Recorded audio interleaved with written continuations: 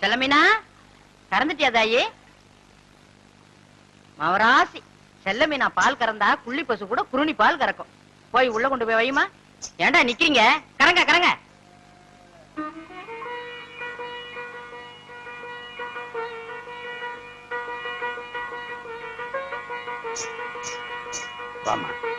இன்னைக்கு உனக்கு பிறந்த நாள். நம்ம குலதெய்வ சித்தனை கும்பிட்டுக்க.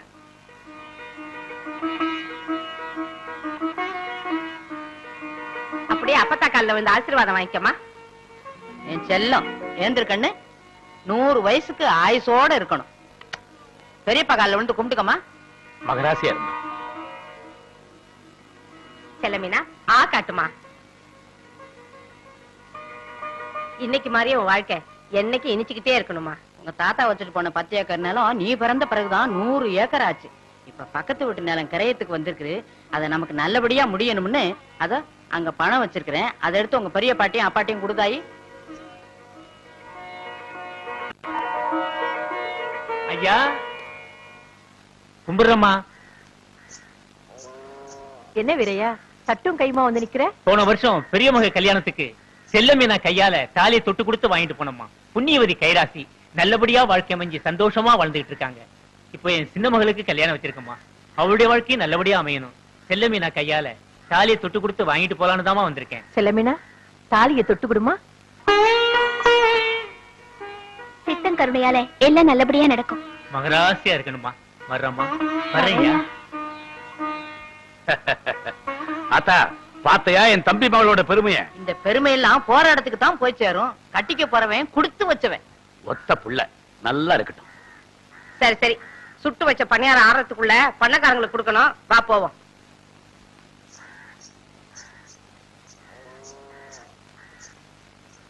சின்னம்மா பிறந்த நாளைக்கு நம்ம பண்ணக்காரங்க சார்பா இந்த மாலைய சின்னம்மாவுக்கு கொடுங்க. அம்மா நீங்க மகராசியா இருக்கணும்.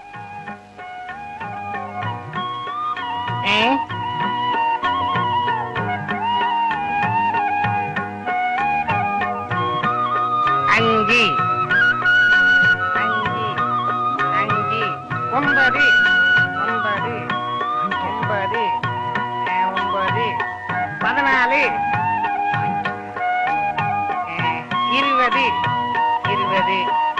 இருபது இருபத்தஞ்சு.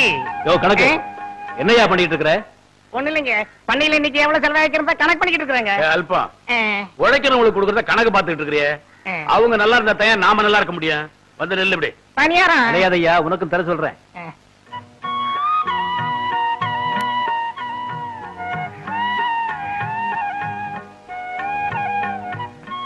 பரவாயில்ல போடு தாயி.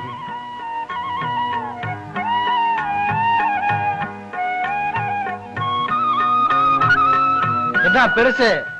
திங்கலையா? நீ தின்றா? யோ நான் ஒண்ணும் பிடிக்கிற மாட்டேன். சும்மா தின்னியா? அதுக்கு இல்லடா. எந்த பண்டமா இருந்தாலும் முதல்ல என் பேரனுக்கு கொடுத்து புட்டு தான் அப்புறம் திம்பேன். அஹ். இந்த கிழவன் பேரன் பேரன் ஊட்டி வளர்த்துக்கிட்டு இருக்கான். அந்த பைய இந்தியாரம் கொண்டிமான ஆட்டம் எவனை குத்திக்கிட்டு இருக்கானோ?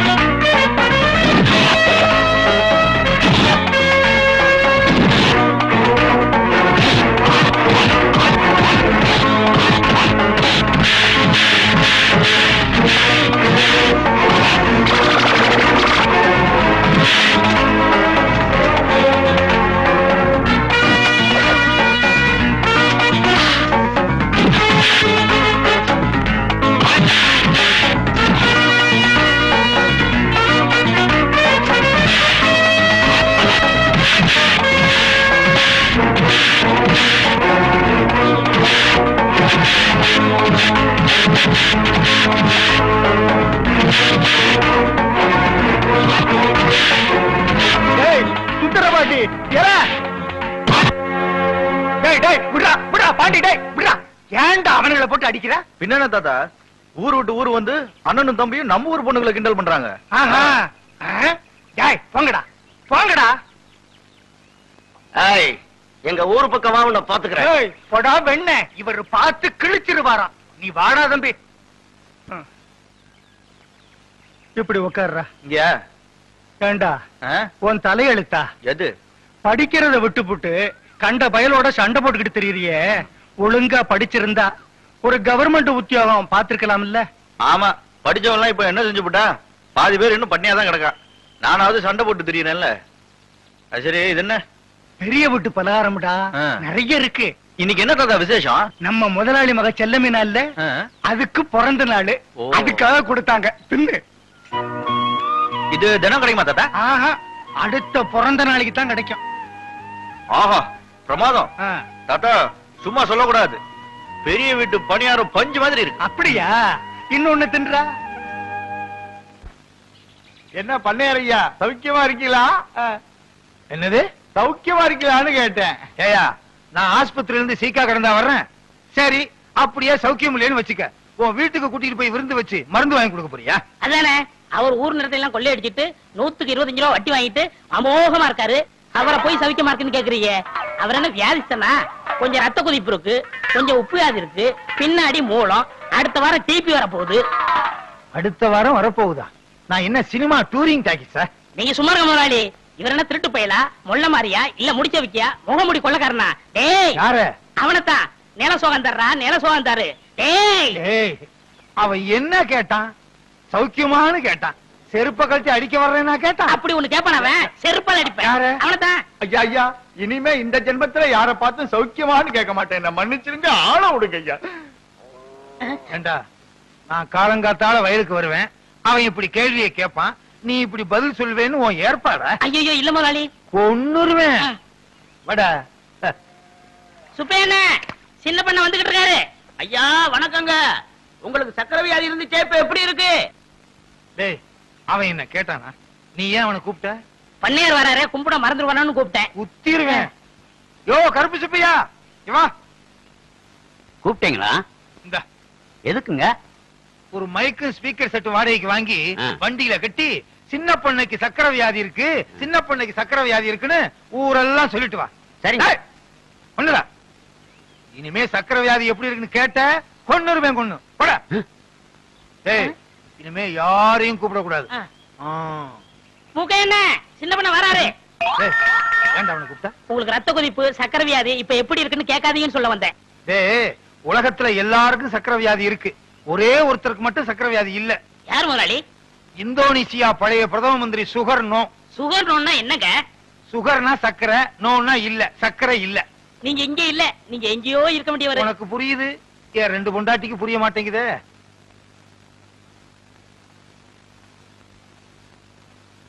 என்னடா? ஐயா கட்டுத்தெருல நின்ன வடக்கு திக்கால எவனை புடிச்சிட்டு போயிட்டான் என்னடா சொல்ற?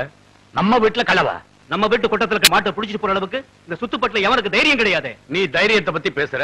எவனோ புடிச்சிட்டு போயிட்டானடா. அண்ணே புடிச்சிட்டு போன கொம்ப எவனா தான் சரி? இன்னைக்கு பொழுதுக்குள்ள நம்ம வீட்டு குட்டத்துல மாடு வந்து நிக்கும். டேய் வாங்கடா.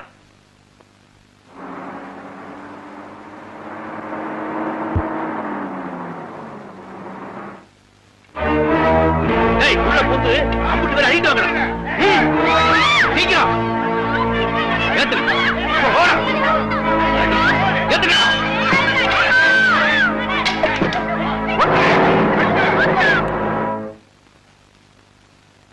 செல்லமினா உரியில உருக்கு நெய் வச்சிருக்கேன் எடுத்துட்டு வாத்தா. ஓ மருவா பார்வதி எங்க போனா? பிள்ளைய வேலை வாங்கிட்டு இருக்க? ஏன்? நெய் எடுத்துட்டு வந்தா உன் மக தேஞ்சிருவாளா என்ன? நீ வாமா சாப்பிடு. நான் சாப்பிட்டேன் பெரியப்பா வா தம்பி உட்காரு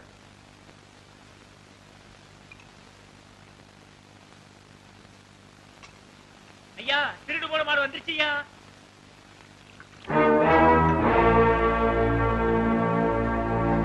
ஏண்டா களவாணி நாயே என்ன தைரியம் ஐயா மாட்டியை களவாணி கொன்றானே. பெரியய்யா இந்த ஒரு வாட்டி என்ன மன்னிச்சிருங்க ஐயா. இனிமேல் சாகர வரைக்கும் இந்த திருட்டு தொழிலை பண்ண மாட்டேன் ஐயா. களவாணி பையில செய்யறதையும் செஞ்சு புட்டு பாசம் தான் பண்ற. அப்படியே எந்திர எந்திர. செஞ்ச தப்புக்கு தலை குனிஞ்சிட்டான். குனிஞ்சவன் குறுக்கல குத்துறது நல்லது இல்லடா அழகு முத்து மாட்டெல்லாம் கொண்டு போக. அவன் பொண்டாட்டி போட்டுலாம் அவுத்து விடுங்க. நீங்க நல்லா இருக்கு நீங்க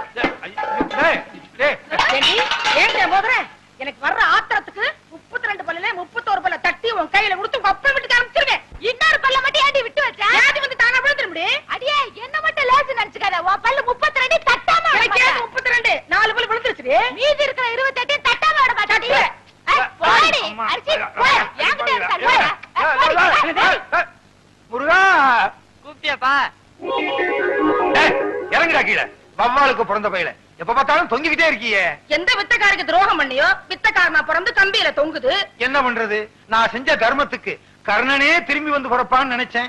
இப்படி கர்ணம் போடுறவன் திரும்பி வந்து பிறப்பான்னு நினைக்கவே இல்லையே. நீ செஞ்ச வினையா குரங்கா வந்து தொங்குது. என்னது? நான் பெத்த பிள்ளைய பார்த்து குரங்குன்னு சொல்றியா? நீ குரங்கு உங்க அப்பா குரங்கு உங்க அம்மா குரங்கு உன் குடும்பமே ஒரு கிஷ்கிந்தா கூட்டம் அடியே.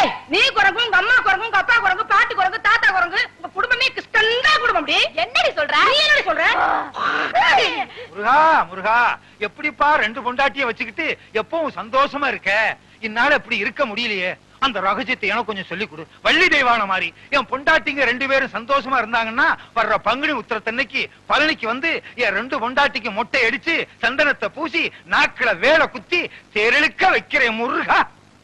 நான் எதுக்கு தேர் எடுக்கணும்? நீ மொட்டை அடிச்சுக்க. உன் சின்ன பொண்டாட்டி கடிச்சு விடு. உன் பையனுக்கு அடிச்சு விடு. நாக்குல வேலை குத்துங்க தேர இழுங்க. நான் வேண்டாங்க. பெரியம்மா சொல்றது நூத்துக்கு நூறு உண்மைங்க. நூத்துக்கு நூறு உண்மையா? ஏண்டா ஏற்கனவே அவங்க ரெண்டு பேரும் கிராமபோன் பொட்டி நீ வேற சாவி கொடுக்க வந்துட்டியா? உண்மை தானங்க சொல்றேன். பெரியவங்க மனசு வச்சு தானே சின்னவங்களை உங்களுக்கு கட்டி கொடுத்தாங்க? இந்த வீட்டுக்கு வாரிசு வேணுங்கிறதுக்காக என்ன பலிகடாவ ஆக்கிட்டாங்க? நான் தான் பலிகடம் ஆயிட்டேன் எனக்கு என்ன கண்ணு இல்லையா காது இல்லையா மூக்கு இல்லையா போதும். அதுக்கு மேல சொல்லாத. இவர் கூட தான் அந்த காலத்துல என்ன பார்த்து செல்லைன்னு சொன்னாரு. உண்மைதான். கல்யாணமான புதுசுல இவளை கூட்டிக்கிட்டு மீனாட்சி அம்மன் கோயிலுக்கு போனேன். தூணுக்கு பக்கத்துல இவ நின்னா வர்றவங்க போறவங்க எல்லாம் இவளை சிலை நினைச்சு தலையில எண்ணெய் ஊத்திட்டாங்க. அடேங்க அப்பா இவங்க நேரத்துக்கே எண்ணெயை ஊத்துனாங்கன்னா என் நேரத்துக்கு எண்ணெயை ஊத்தி திரி போட்டு விளக்கே ஏத்திருப்பாங்க. நல்ல வேளை நான் அந்த பக்கம் போகல. அத விடுங்க. பெரியம்மா பண்ண தியாகத்துக்கு அவங்க கால்ல சின்னமா பூ போட்டு கும்பிடணும். வேலைக்காரன் உனக்கு தெரியுது என் பெருமை. இவளுக்கு தெரியலையே? இந்த பத்து ரூபா. போய் காபி சாப்பிட்டு வா. சரி. ஆ, ஊரு ரெண்டு வட்டா கூத்தாடிக்கு கொண்டாட்டம்னு சொல்லுவாங்க. அதே மாதிரி என் வீக்னஸ புரிஞ்சுக்கிட்டு டெய்லி பத்து பத்து ரூபாயா முத்துறானே. உங்களுக்கு ஏதாவது வேணுமா? அவங்க கொடுத்த பத்து ரூபாய திருப்பி வேணும். அதெல்லாம் தர முடியாது. வேற என்ன வேணுமா? ஒரு வடை வாங்கிட்டு வா. பஜ்ஜி. கடலை உருண்டை. பஜ்ஜி. கடலை உருண்டை. பத்து ரூபாய்க்கு ஒரு முட்டை பொரிய வாங்கி இவளுக்கு கிட்ட கொட்டுறா. ஏய்,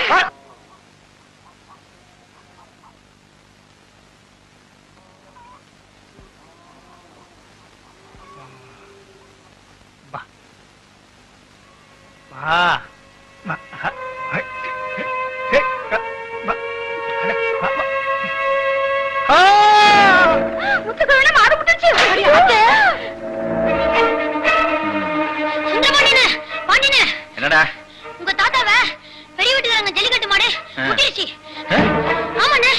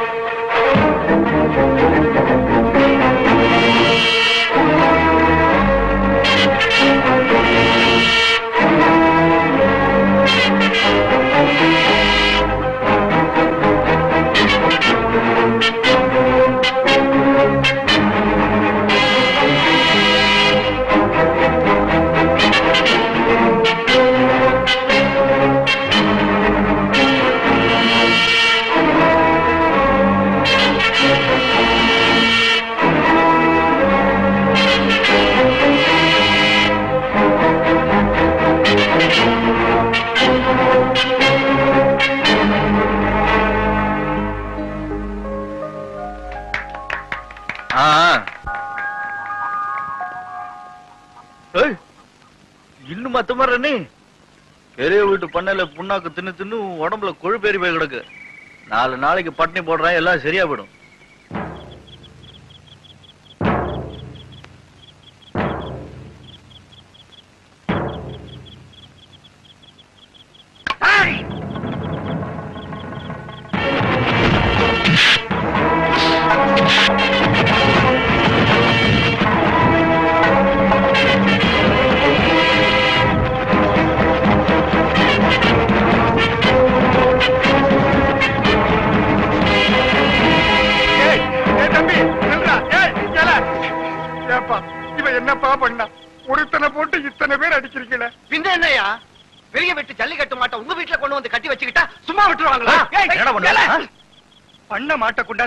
கட்டலாமா உன் முரட்டுத்தனத்துக்கு அளவே இல்லையா? பின்ன என்ன தாத்தா? உன்னை முட்டங்காலையை சும்மா விடலாமா? புண்ணாக்கும் பருத்து கொட்டையும் தின்னு தின்னு கொழுத்து போய் கிடக்கு. பட்டினி போட்டாதான் திமிரு அடங்கும். ஆமா. வேண்டாம் அது தெரிஞ்சா செஞ்சுச்சு. திமிரு. திமிருல பண்ணுச்சு. திமிரு? ஏய் பேசாத. தாடியை பத்த வச்சிருவேன். ஐயா அவன் சின்ன பையன். ஏதோ தெரியாம பண்ணிவிட்டான். நீங்க மாடு அபத்துக்கிட்டு போங்க. பொழுது விடிஞ்சதும் பெரியவரை வந்து நான் பாக்குறேங்க தாத்தா பெருசு உனக்காக விட்டுட்டு போறோம். இல்லன்னா கிழிச்சிருவீங்களா? சும்மாறா. நீங்க போயிட்டு வாங்க. நான் பாத்துக்கிறேன் நீங்க போயிட்டு வாங்க. எங்க வீட்டு ஜல்லிக்கட்டு காளைய புடிச்சுக்கிட்டு போற அளவுக்கு உன் பேரனை வளர்த்து வச்சிருக்கியா? அப்படியெல்லாம் ஒண்ணு இல்லைங்க முதலாளி. என் மேல உள்ள பாசத்தினால என்ன மாடு முட்டி பிடிச்சுன்னு தெரிஞ்ச உடனே என் பேரன் இப்படி செஞ்சு விட்டானுங்க. ஏய்யா இப்ப என்ன மாடு முட்டி நீ செத்தா போயிட்டு சும்மா ரெண்டு கீறு கீறிடுச்சு அவ்வளவுதானே? அதுக்கு எங்க வீட்டு மாட்டை கொண்டு போய் பட்டி போட்டு கொண்டாந்து இருக்கியே அதானே? உங்க ரெண்டு பேரும் சேர்த்து வித்தா கூட எங்க மாட்டு விலை பெற மாட்டீங்க. உன் பேரனை பெருசா படிக்க வைக்க போறேன்னு என்கிட்ட பத்தாயிரம் ரூபாய் வாங்கினியே. உன்னால இனிமே வேலை செய்ய முடியாது. அந்த பணத்தை கொப்பனா கட்டுவான். வேணாம்ப்பா. உங்களுக்கு பணம் தானே வேணும்? எங்க தாத்தாக்கு பதிலா நான் இந்த பண்ணையில வேலை செஞ்சு உங்க கடனை அடைக்கிறேன். போதுமா? தம்பி நீ பண்ணையில வேலை செய்ய போற. வேணாம்ப்பா. தாத்தா என்ன வழக்க தானே நீங்க கடன் வாங்குனீங்க? நீங்க கடனாளியா இருக்க நான் விட மாட்டேன். என்ன பேச பேசுறாங்க தெரியுமா அவங்க? அதுக்காக பழக்கமில்லாத வேலையை நீ செய்ய போறியா? பண்ண வேலை பாக்குறதுக்கு பாரியில போய் படிச்சுட்டு வரணுமா பையன் பத்தாவது வரைக்கும் படிச்சிருக்கிறேன். டிராக்டர் எல்லாம் நல்லா ஓட்ட தெரியுது. மத்த வேலையை பத்து நாள் செஞ்சானா பழகி போயிடுது. அதுக்கு பிறகு கையில கலத்திய கொடுத்தோம்னா கண்டபடி உழுதுகிட்டு திரியிறேன். நாளையில இருந்து பேரனை பண்ண வேலை பார்க்க சொல்லு. என்ன? சரிங்க. தம்பி வா. தம்பி பெரிய இடம். உனக்கு பழக்கமில்லாத வேலை. பார்த்து செய்யப்பா.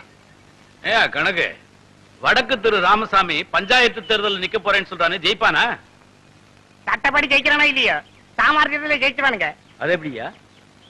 அதாவது அவங்க தாத்தன் கஞ்சா வித்தான் அவங்க அப்பன் சாராயம் வித்தான் இவன் சதையை விக்கிறான். வெட்டு குத்தெல்லாம் அவனுங்களுக்கு சர்வசாதாரணம். கள்ளப்பணம் கணக்கு வழக்கு இல்லாம இருக்குதுங்களா. இதை விட ஜெயிக்கிறதுக்கு வேற என்னங்க தகுதி வேணும்? ஆமாமா இப்ப எல்லாம் அப்படித்தாயா நடக்கு வேலைக்கு சேர்ந்த அன்னைக்கு முத்துக்கிழவன் பேர படுத்திருக்கிற சைஸ பாத்தியா ஐயா? ஏலே வந்திருக்கிறது யாரும் கூட தெரியாம கால் மேல காலை போட்டுக்கிட்டு படுத்துக்கிட்டு இருக்கிற. இதுல வேற ஆட்டிக்கிற. ஏய் என் காலை என் கால் மேல போட்டு ஆடுறேன் உன் கழுத்து மேலயா போட்டு ஆடுறேன் நாலு எட்டு படிச்சிருக்கல அதான்டா இப்படி பேசுற. ஏலே வேலையெல்லாம் முடிச்சிட்டியாடா? இந்த வெட்டி பேசி பேசுறது எனக்கு பிடிக்காது. நீயே வந்து பாத்துக்க.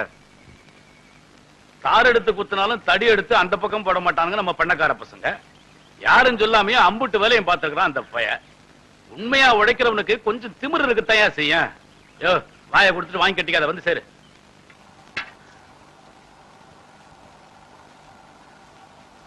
செல்லம்பினா கழனி தண்ணியே கொல்லப்புறத்துல ஊத்திட்டு வாமா இருமா ஜெயிக்கிற நேரத்துல கூப்பிடாத. ஊத்துட்டு வந்து விளையாடுமா. நீ எப்பவுமே இப்படிதான் இருடி வர. ஏய் நான் வரதுக்குள்ள என் முத்த அள்ளிடாத. நல்லா வயிறு முட்டை தின்னு பாலை மட்டும் கறக்காத.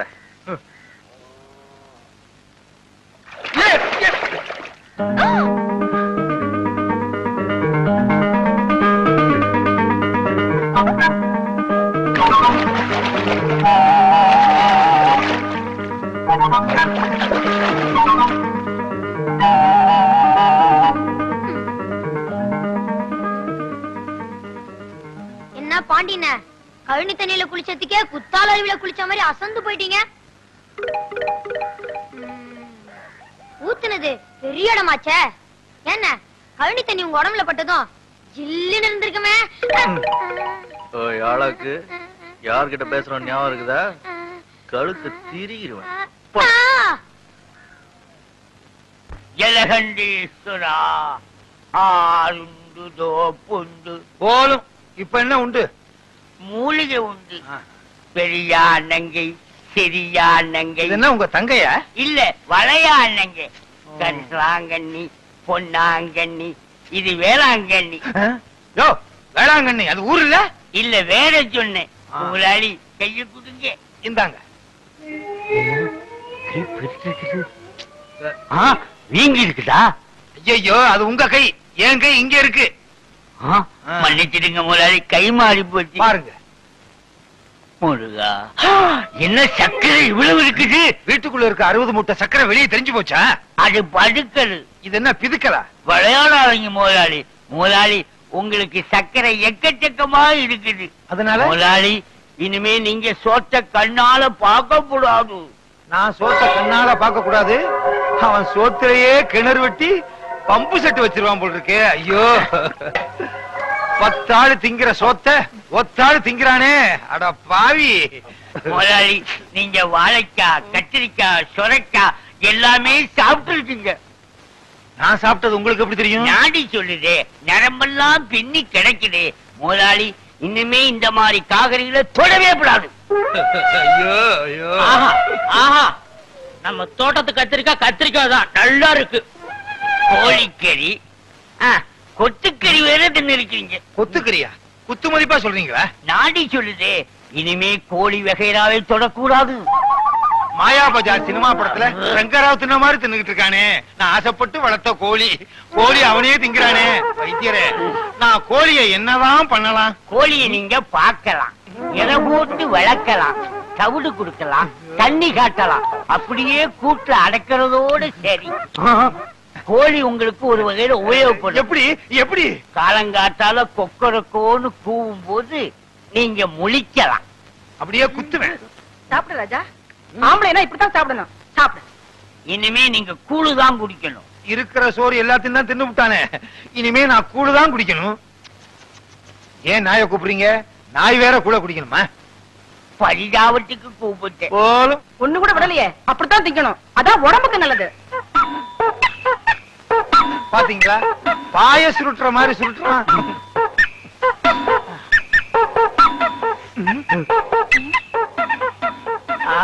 அவ்வளவு தின்னுபிட்டு அரிசியையும் கொட்டிக்கிறிய?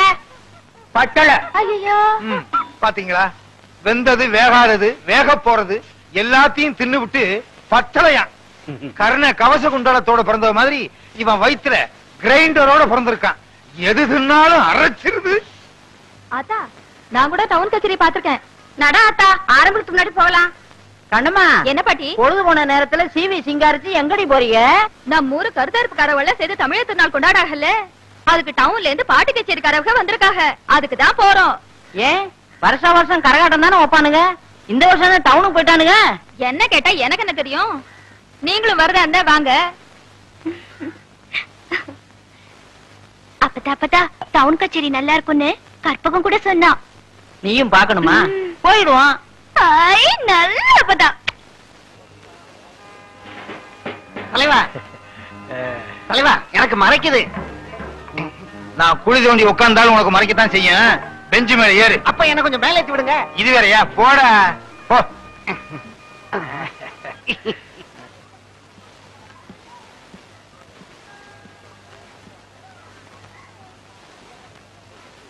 ஒன் டூ ஐயா என்னங்க இது? பாட்டு படிப்பான பார்த்தா ஒண்ணு ரெண்டு பள்ளிக்கூடம் நடத்திட்டு இருக்கிறான் சும்மா இதுக்கு நம்பர் ஒண்ண கூட்டிட்டு வந்தாலும் நல்லா பாத்துக்கிட்டு இருப்பா. ஓஹோ இங்க வந்து அவன் நினைப்பு தானா இவ என்ன அடிக்கிறா அடிக்கிறா. இல்ல இவள நான் அடிக்கிறேன். அடிச்சிருவா? வானத்தை வாங்காதடி. ஒன் டூ த்ரீ வாமன் என்னங்க?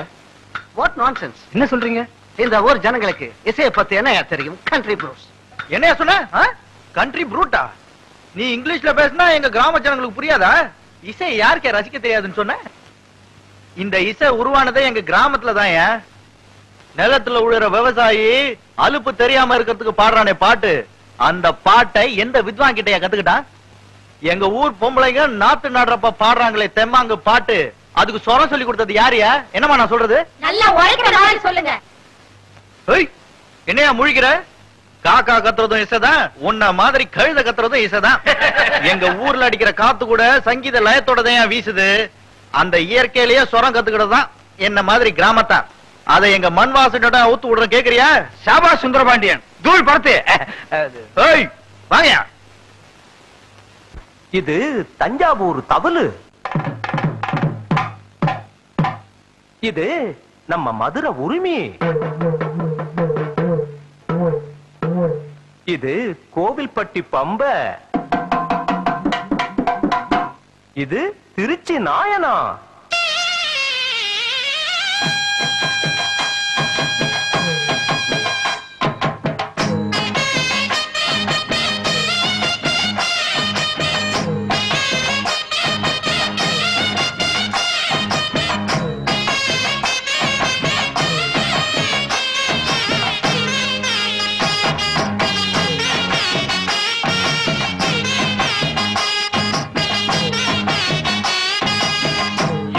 விட்டேன் கொடுத்து விட்டேன் எங்க ஊரு தெம்மாங்கு.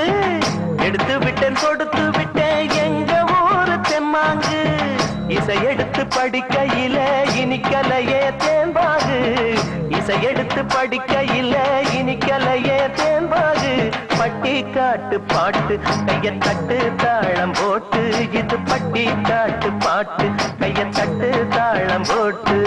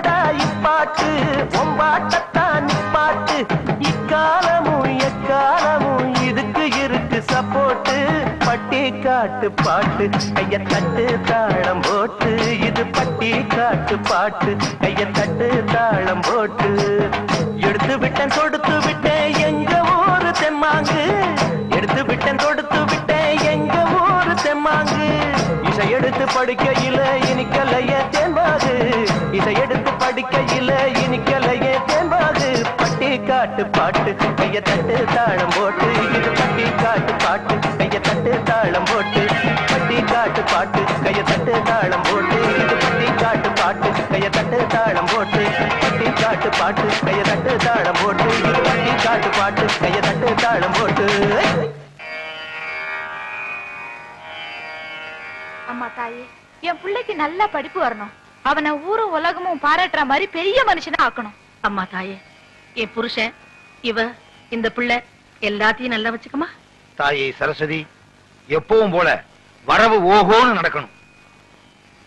நான் தான் எல்லாருக்கும் கடன் கொடுக்கணும்.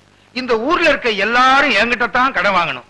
யாராருக்கு எவ்வளவு கடன் கொடுத்தேன் யாராருக்கிட்ட வட்டி வசூல் பண்ணியிருக்கேங்கிற புது கணக்கு இந்த புஸ்தகத்துல எழுதி வச்சிருக்கேன். பழைய கணக்கெல்லாம் கிழிச்சிட்டேன். தாயே சரஸ்வதி நீதான் எங்களை ஆசீர்வாதம் பண்ணணும். விழுந்து கும்பிடு? உனக்கு வேற தனியா சொல்லணுமா? விழுந்து கும்பிடு.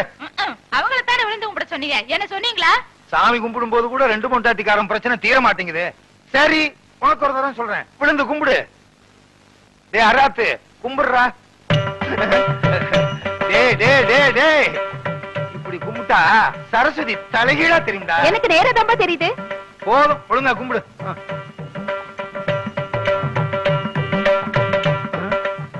என்ன கபடியா விளையாட போறோம்? என்ன கேட்டா? கும்பிடுங்க. கும்பிடு.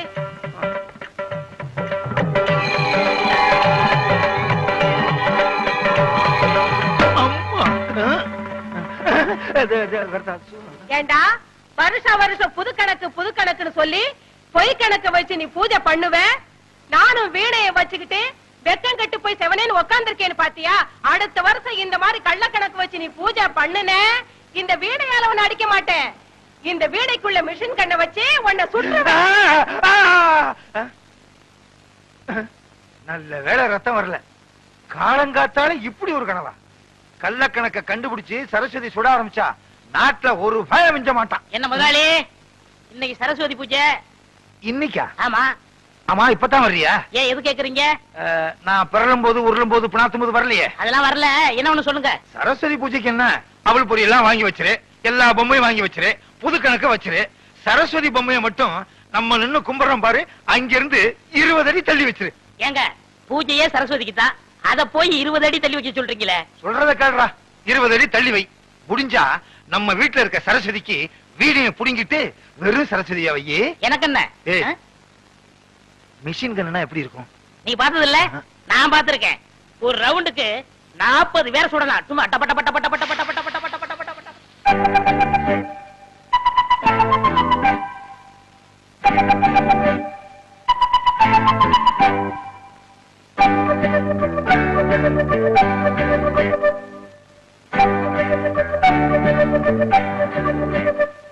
ஏங்க? யார் வீட்டுல கதவை தருங்க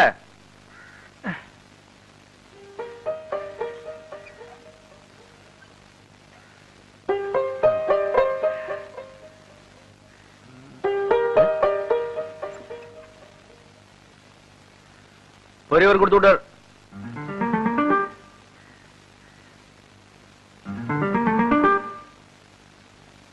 இப்படி பாத்துக்கிட்டே இருந்தா பழம் உன் கைக்கு தானா வருமா? புடி எவா,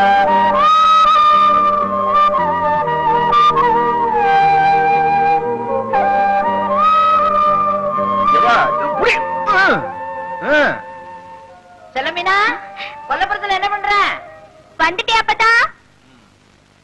உழுகிறது உழைக்கிறதெல்லாம் நம்ம வாழைப்பழத்தை தின்றது மட்டும் அவங்க. கட்டாத தோல் வந்து விழும். உனக்கு தான் பொம்பளைனால அறவே பிடிக்காத. உனக்கு எது கல்யாணம்? வேண்டாம்னு விட்டுறலாம் ஆனா வேற மாதிரி நினைப்பாங்கல்ல. சிவப்பு தோல். நினைச்சாலும் நினைச்சிருவானுங்க.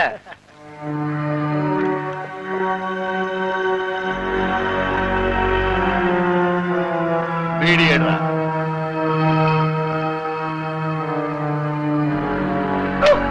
தீப்பெட்டிய அப்பனா கொடுப்பான் எடு. ஆளு ஊர்ல இல்லைன்னா எல்லாருக்கும் குளிர் விட்டு போச்சு. யாரு வந்தா என்ன கொடுக்கணும்னு இப்போவாது தெரியுதா! எப்பவும் பழச மறக்காதீங்கடா. தொல்லை தொலைஞ்சிருச்சுன்னு நிம்மதியா இருந்தோம். விளைஞ்ச காட்டுக்குள்ள பொலிகால நுழைஞ்ச மாதிரி என் கடையெல்லாம் அடிச்சு நொறுக்கிட்டு போயிட்டான் இனிமேதான் பண்ணையாருக்கு பதகலையே கட்ட போகுது. தீப்பெட்டி தரலைங்கிறதுக்காக கடை எடுத்து நொறுக்கிட்டான். ஏழு வருஷமா ஜெயில போட்ட பண்ணையார் வீட்டுக்கு போறான். என்ன நடக்க போகுதோ?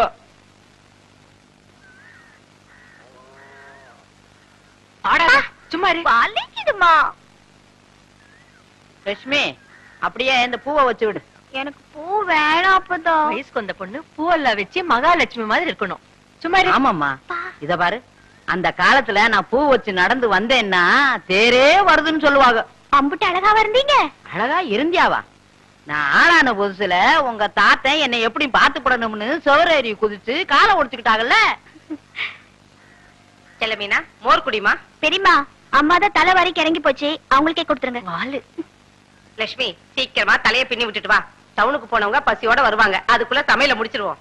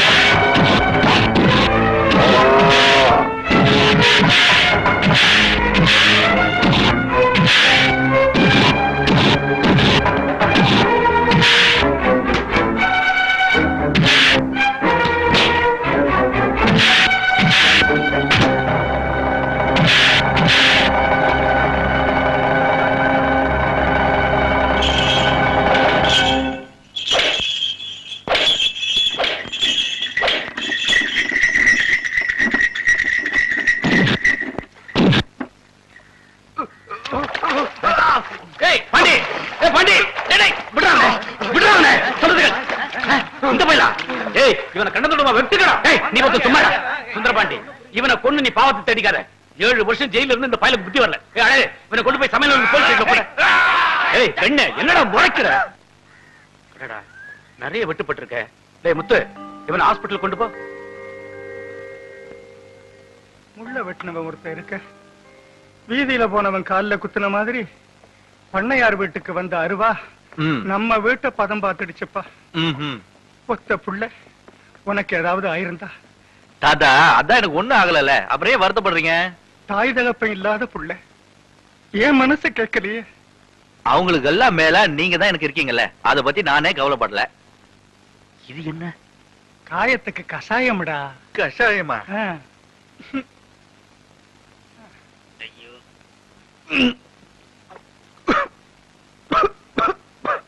தாத்தா இதுக்கு இந்த வலியே தேவல. என்ன? வெட்டுப்பட்ட இடத்துல? தையல் போட்டிருக்காங்களா? ஆமா செலவினா. சுந்தர பாண்டி மட்டும் அந்த நேரத்துக்கு வரலனா என் கழுத்துக்கு வந்த அருவா என் விதியை முடிச்சிருக்கோம். அவருக்கு வெட்டுப்பட்டிருக்காதுல்ல? வருத்தப்படாத செலவினா. அவர் உசுர குடிக்க வந்தது உடம்பு தொட்டுட்டு போயிருச்சு. இனிமே சுந்தரபாண்டி அண்ணனுக்கு எந்த குறையும் வராது. கற்பகம் நான் எப்படியாவது அவரை பார்க்கணும். என்ன கூட்டிட்டு போடி. செலமினா காத்த வச்சே கயிறு திரிப்பாங்க நம்ம ஊர் ஆளுங்க. நீ சுந்தரபாண்டி அண்ணனை பார்க்க போறத தெரிஞ்சா உனக்கும் அவருக்கும் ஏதோ தொடர்பு இருக்கிறதா நினைச்சு கதையே கட்டிடுவாங்க. அப்புறம் நேக்கலையும் உடஞ்சு நிலத்துல விழுந்த மாதிரி ஆயிடும். ஊரை பத்தி எனக்கு கவலை இல்லடி. நான் அவரை பார்க்கணும். அதுக்கு ஏதாவது ஒரு வழி சொல்லுடி. அவசரப்படாத. விடியட்டும்.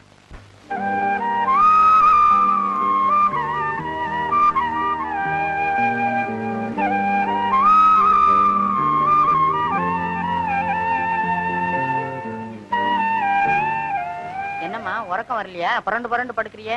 ஆமா பத்தா தூக்கமே வரல. ஒரே மூட்டை பூச்சி மூட்டு பூச்சியா நம்ம வீட்ல ஏழடா கண்ணு மூட்டு பூச்சி அது என்னமோ கடிக்கிற மாதிரி இருக்கு. மனசுல ஏதாவது நினைப்பு இருந்தா கடிக்கிற மாதிரி தான் இருக்கும். அதெல்லாம் விட்டுட்டு படுத்து உறங்குமா? மா கோலப்படி கொடுங்கம்மா. நீ இருமா நான் போய் எடுத்து கொடுத்துட்டு வரேன்.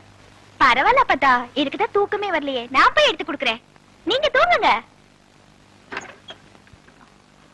சீக்கிரமா வச்சுட்டு வா.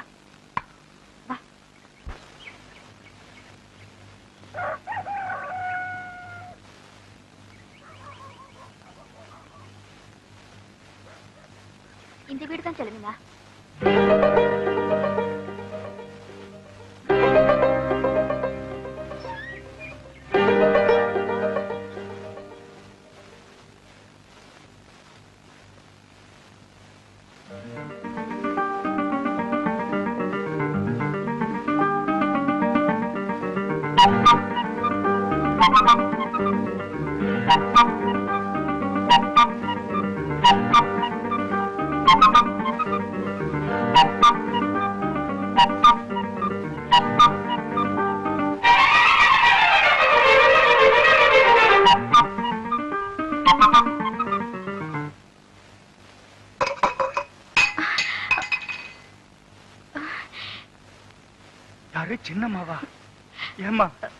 நீங்க எங்க இப்படி.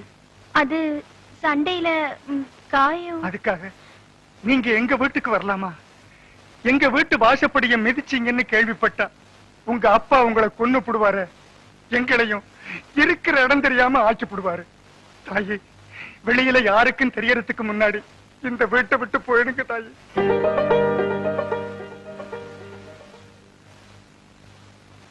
அதான் சொல்றாருல்ல போக வேண்டியதானே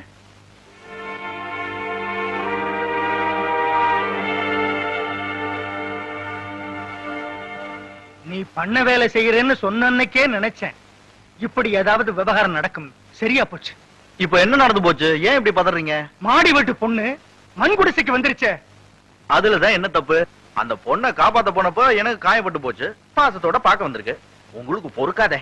இந்த விஷயம் முதலாளிக்கு தெரிஞ்சா நம்மளை இந்த ஊர்லயே இருக்க விட மாட்டாங்க. ஏன்? பக்கத்து ஊருக்கு மாத்திருவாங்களா? ஏல, நான் சொல்லிக்கிட்டே இருக்கிறேன் நீ என்னமோ விளையாடுற. இந்த பாருடா என்ன? ஆமா. என்ன என்ன? உனக்கு அந்த பொண்ணுக்கும் அந்த பொண்ணுக்கும் எதுவும் இல்லையே. எதுவும் இல்லையான்னு. ஐயோ இருந்தாதான் என்ன?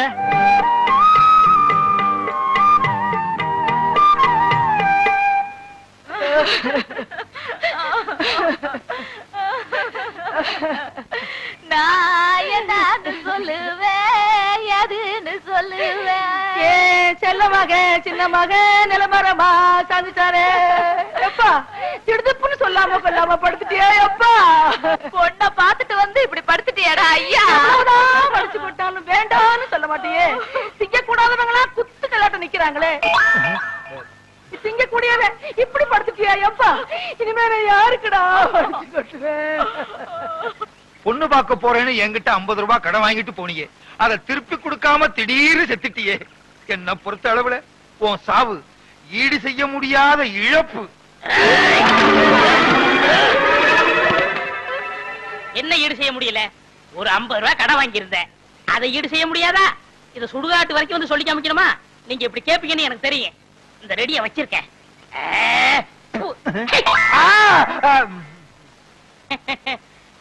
என்ன முதலாளி? பெரிய கனவே கண்டீங்க போல் இருக்கு இல்லையே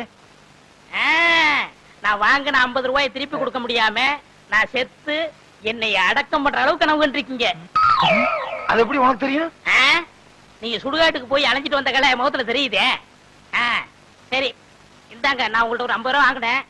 இதை வச்சுக்கோங்க. முதலாளி இது ரெண்டாயிரம் ரூபாய் பணம் இருக்கு. நான் கொஞ்சம் கொஞ்சமா சேர்த்தது.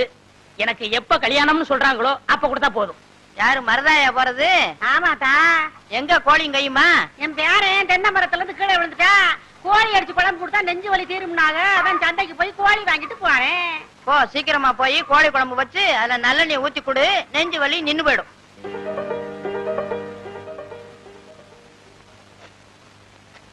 தெரியுமா?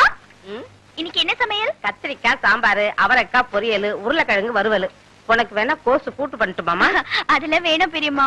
இன்னைக்கு கோழி அடிச்சு குழம்பு வைய. என்னது? கோழி அடிக்கவா? உனக்கு கோழி குழம்புனா அறவே பிடிக்காதே. அது என்னமோ பெரியம்மா. எனக்கு இன்னைக்கு சாப்பிடணும் போல இருக்கு. கோழி அடிச்சு குழம்பு வச்சு நாங்களாம் திங்கும் போது நீ வேண்டாம் அப்போ என் மனசு இறகா கடந்து துடிக்கும். இப்பவாவது ஆசைப்பட்டு கேட்டியே. ஒரு கோழி என்னம்மா? ஒன்பது கோழி அடிக்கிறேன்.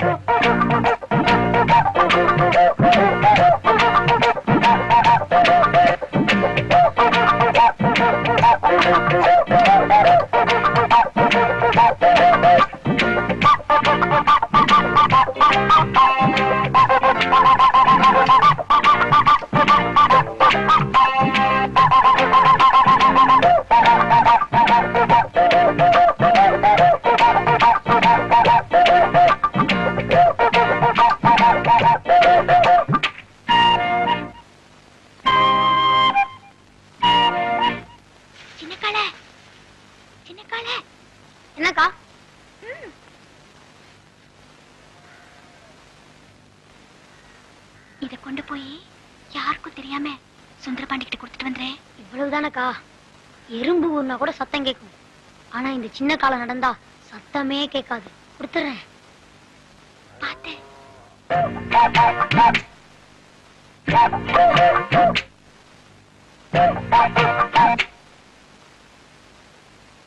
என்னண்ணா படம் வரைஞ்சிட்டு இருக்கீங்களா? பின்ன என்ன சரிச்சுக்கிட்டா இருக்கேன் அது என்னது அது கையில? செல்ல வினாக்கா கொடுத்து விட்டுச்சு. என்ன நீங்களே பாருங்க. செல்ல மீனா கொடுத்து விட்டு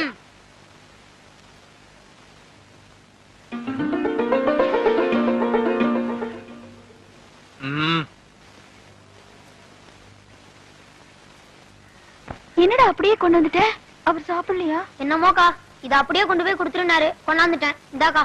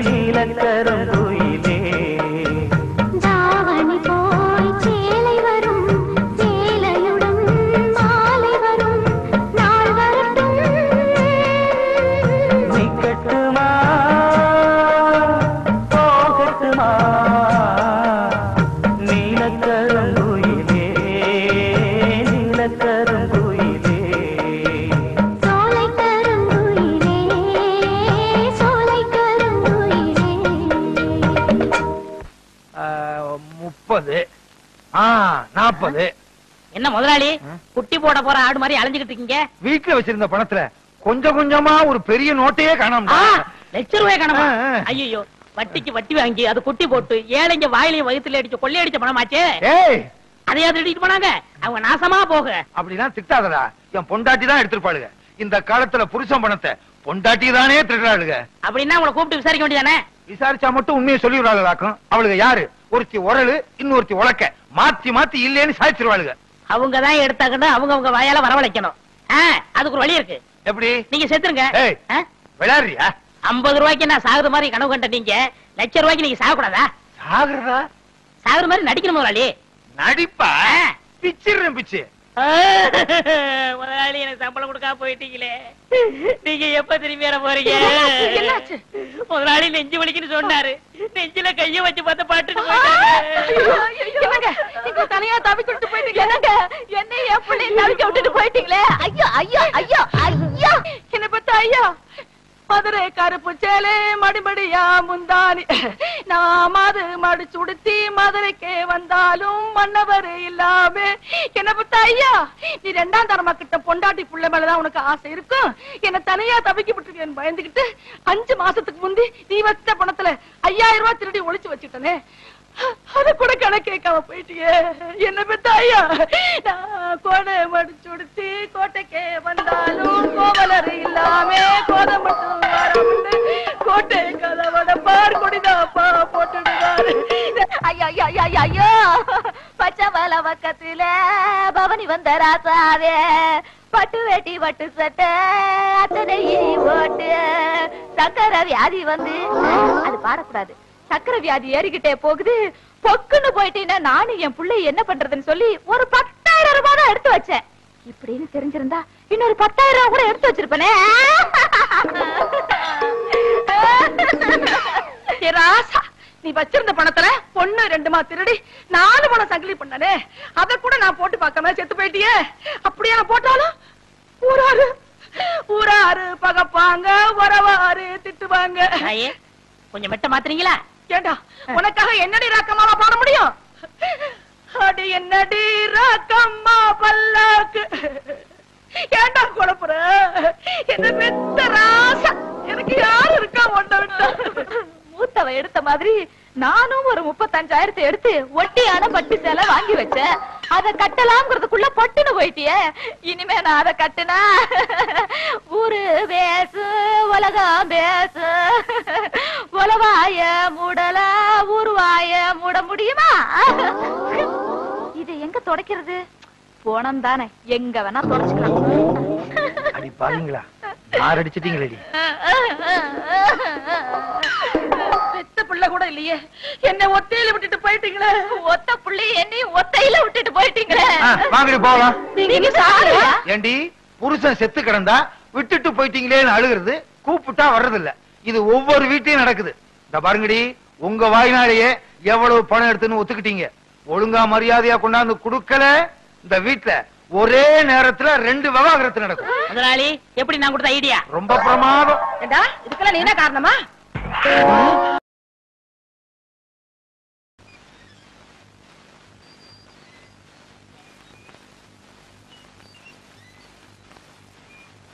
செலமினா செலமினா. என்ன பட்டா? இந்தா பருவலங்கா உருண்டை. எனக்கு வேணாம். முட்டாப்பாய் மாவுல. இத சாதாரணமா நினைக்காத. பாசிப்பருப்பு மாவுல நெய்ய ஊத்தி உருண்டை பிடிச்சது. சடங்கான பிள்ளைங்க சாப்பிட்டா உடம்புக்கு நல்லதுன்னு சொல்லுவாங்க. அது மட்டும் இல்ல அடிக்கடி பட்டு உள்காயம் இருந்துச்சுன்னா இத சாப்பிட்டா உடனே வலி தீர்ந்து போயிடும். இந்தா சாப்பிடு.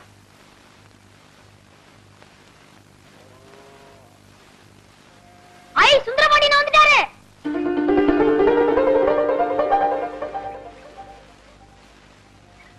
தம்பி உடம்பு எப்படி இருக்கு? உடம்பெல்லாம் சரியா போச்சு. கை கால் தான் கொஞ்சம் மத மதம் இருக்கு. பெரிய குளத்து கால மாதிரி செருக்கடிச்சு திரிஞ்சிட்டு காயம் பட்டு படுத்துட்டு வந்தீங்கல்ல சோம்பேறித்தனமா தான் இருக்கும். நாலு நாளைக்கு வேலை செஞ்சா சரியா போயிடும். தம்பி அப்படியே அந்த மோட்டரை சுத்தி விடு. சரிண்ணே.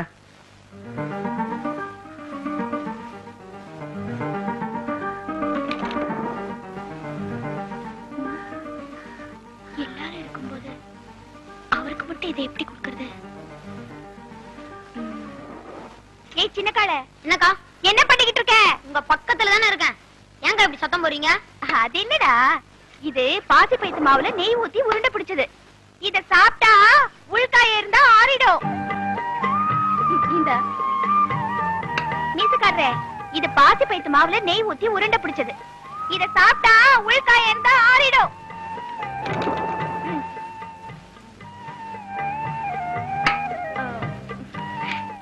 இது தெரியுமே? பாசி பயத்து மாவுல நெய்ய ஊத்தி உருண்டை பிடிச்சது. இத சாப்பிட்டா உள்காய இருந்தா ஆறி போயிடும். அதானே?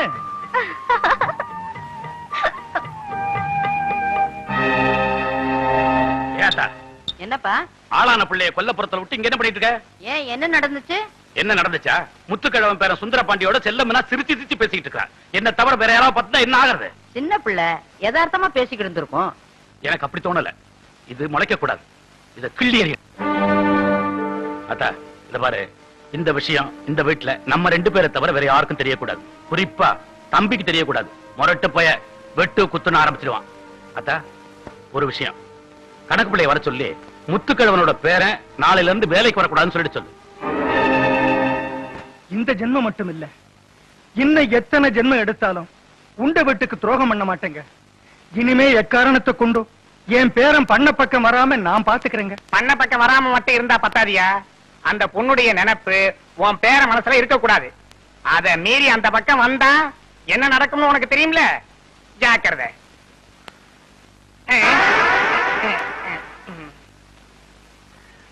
தாத்தா கணக்கு எதுக்கு வந்துட்டு போகுது? கணக்கு கணக்க தீர்த்துட்டு போறாரு. என்ன சொல்றீங்க? அதான்டா உன்னை பண்ண வேலைக்கு போடான்னு சொன்னா நீ பொண்ண பாத்திருக்க அதான் வேலைக்கு வேண்டான்னு சொல்லிட்டு போறாரு.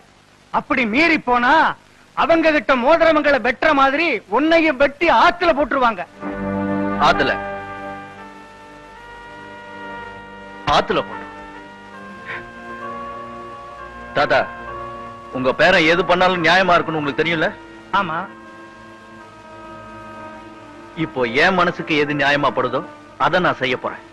என்ன நடக்குதுன்னு பாத்துக்கலாம்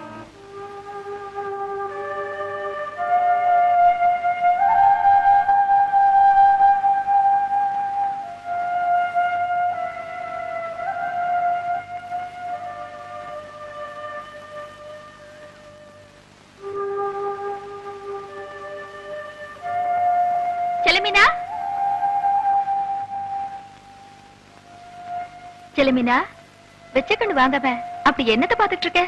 என் மனசு வச்ச இடத்த தேடிக்கிட்டு இருக்கேன். என்ன சொல்ற? பொழுது விடிஞ்ச உடனே சூரியனை பாக்குற மாதிரி கிழக்கு வெளுத்த உடனே நான் அவரை பாத்துருவேன் இப்பெல்லாம் சூரியன் மறைஞ்சு சந்திரன் வந்தாலும் என்னால அவரை பார்க்க முடியல. எங்க மனசு கட்டின கோட்டைக்கு தூரம் அதிகமாயிடுச்சு கற்பகம். செல்லுமினா நீங்க ரெண்டு பேரும் சேர்ந்து வாழணும்னு விதி இருந்தா அதை யாராலையும் மாத்த முடியாது. அதெல்லாம் எனக்கு தெரியாது. என்ன அவர்கிட்ட கூட்டிட்டு போடு. என்ன தப்பா நினைக்காத செல்லுமினா நான் தான் உன்னை கூட்டிட்டு போனேன் உங்க அப்பாவுக்கு தெரிஞ்சா என் குடுமையை அறுத்து கூத காஞ்சிருவாரு. சுந்தரபாண்டி அண்ணன வண்ணாத்தி பொட்டல் வைக்க போருக்கு வர சொல்றேன். நீயே போய் பாத்துக்க.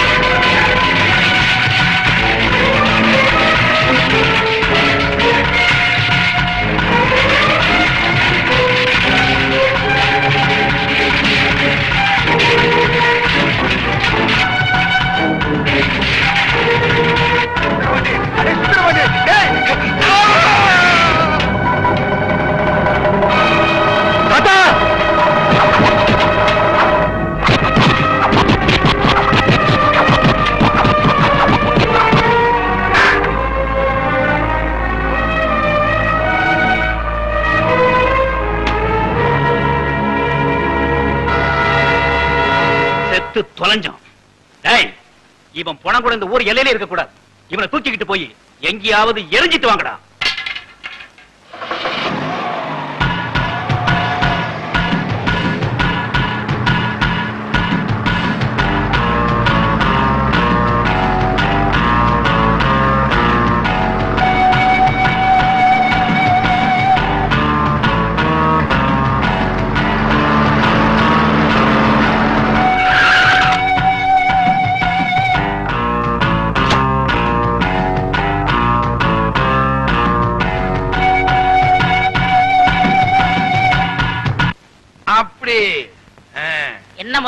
வருங்காலத்துல சர்க்கஸ் நடத்த போறீங்களா?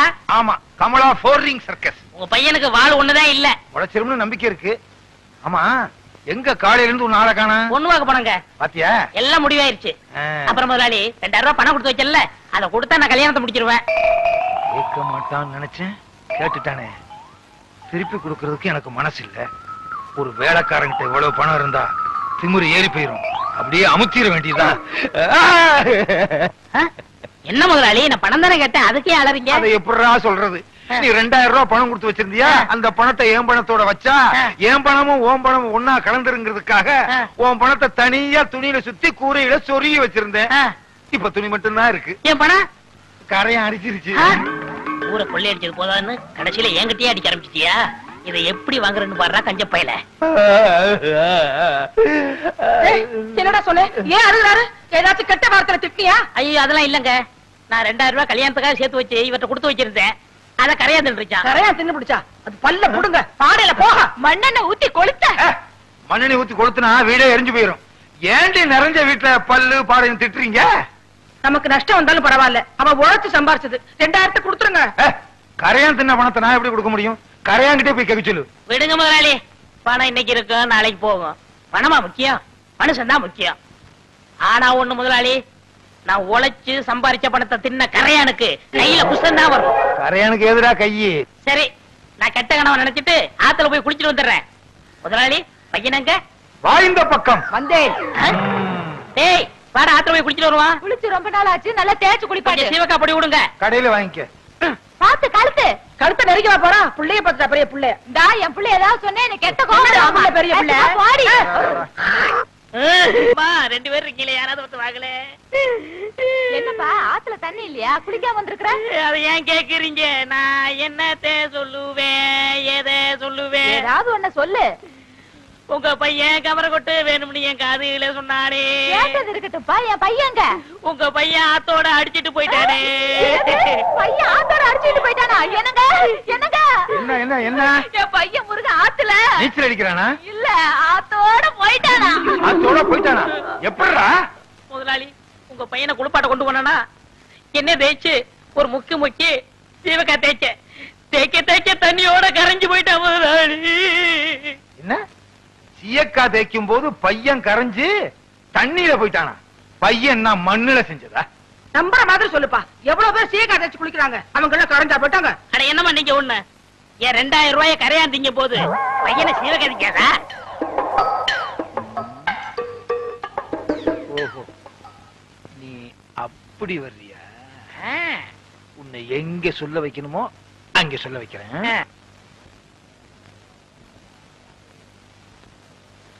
ஏன்பா வேடிக்கை பார்த்துக்கிட்டு இருக்கீங்க? தூக்குங்கப்பா. ஏன் நீங்க வந்து தூக்குங்களேன் ஏய் நான் போய் தூக்கி அதுல கைரேகப்பட்டு நான் போலீஸ்ல மாட்டிக்கிறதா? நான் புள்ள ஊட்டிக்காரப்பா என்ன விட்டுருங்க. இவர் தான் பிள்ளை குட்டிக்காரரு. மத்தவெல்லாம் என்ன வெம்போக்கா? அடுத்தவனை மாட்டி விட்டு வேடிக்கை பாக்குறது உங்க குழப்பா போச்சு. இல்ல அம்பலாரையா வராது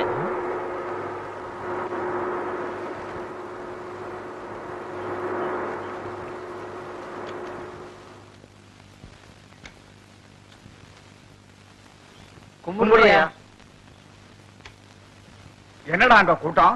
யாரையோ அடிச்சு போட்டிருக்காங்கய்யா. யாரவன்?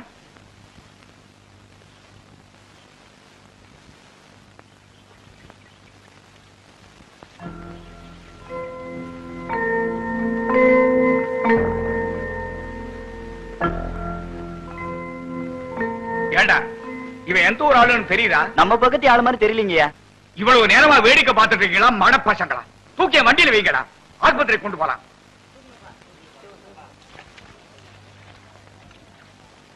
கரையா தின்னுடுச்சுங்கிறது நீ நம்பர் இல்ல ஆமாங்க ஐயா. அப்புறம் நீ என்ன செஞ்ச? அப்புறம் நான் ஆத்துல இவர் பையனை குளிப்பாட்ட கூட்டி போனங்க. சிவகப்படி தேய்க்க தேய்க்க ஆத்தோட கரைஞ்சு போயிட்டாங்க. கரைஞ்சிட்டாங்கிறத நீ நம்பர் இல்ல போதுங்க. உங்கள மாதிரி ஊருக்கு ரெண்டு பேர் இருந்தா ஊரு உருப்பட்டுரும். சிங்காரம் எழுந்து சில்லு நான் ஏன் எந்திரிக்கணும்? இந்த வழக்குல நீயே சம்பந்தப்பட்டிருக்க. சொன்னா கேளையா. பெருமாளே ஐயா. ரெண்டாயிரம் ரூபாய் கொடுத்தா விட்டுருவே இல்ல விட்டுருவோங்க. போய் பையனை கூட்டு வா. சிங்காரா பணத்தை கொடு. வீட்டுல வந்து தந்துடுறேன். ஐயா. பையன் வந்த உடனே இவர். வீட்டுல போய் பணத்தை வாங்கிட்டு வந்துரு. சரிங்க. நீ எல்லாம் மனுஷனா? வேலைக்காரன் பணத்தை எடுத்து வச்சுட்டு என்னையா விளையாட்டு? ஆ, நம்ம பையன். எங்கடா கொண்டு இத்தனை நாளா போயிருந்த? இந்நாள் என்ன பம்பு செட்ல கட்டி போட்டு கையெல்லாம் துரு துருன்னு இருக்குப்பா ஆ, ஏறி விளையாடு. என் மேல இல்லடா இந்த மரத்து மேல. ஏங்க விட்டா உச்சி வரைக்கும் போயிடுவேன் கொண்டு கீழே இறங்க சொல்லுங்க. ஏறி விளையாட்டுமே ஐயா ஏக்கண்ணா ஓடி வா ஓடி வா ஓடி வா. வா. இது கொம்பரி முக்கையில குரங்கு. அப்படி. மாமா விட்டு மாறி போய் விளையாடு. அடே எங்க அப்பா வேலைக்காரனாலும் வேலைக்காரன் கில்லாடி வேலைக்காரையா? எத்தனுக்கு எத்தையா? மோசக்காரனுக்கு மோசக்காரன். இதெல்லாம் உன் ஏற்பாடா? இனிமே உனக்கு வேலையும் கிடையாது. நீ என் வீட்டு பக்கமும் வரக்கூடாது. போடா. ஓஹோ கொஞ்சம் ஏமாந்த வேலைக்காரனா இருந்தா வேலைக்கு வச்சுக்கிருவீங்க. கொஞ்சம் புத்திசாலி வேலைக்காரனா இருந்தா வேலையை விட்டு போக சொல்லிருவீங்க. இங்க மட்டும் இல்லங்க எல்லா பண்ணையிலயும் அப்படிதான் நடக்குது. ஏய் பஞ்சாயத்து முடிஞ்சதுல போடா. ஏன்? அவன் சொன்னது உங்களையும் பாதிக்குதோ? அது சரி.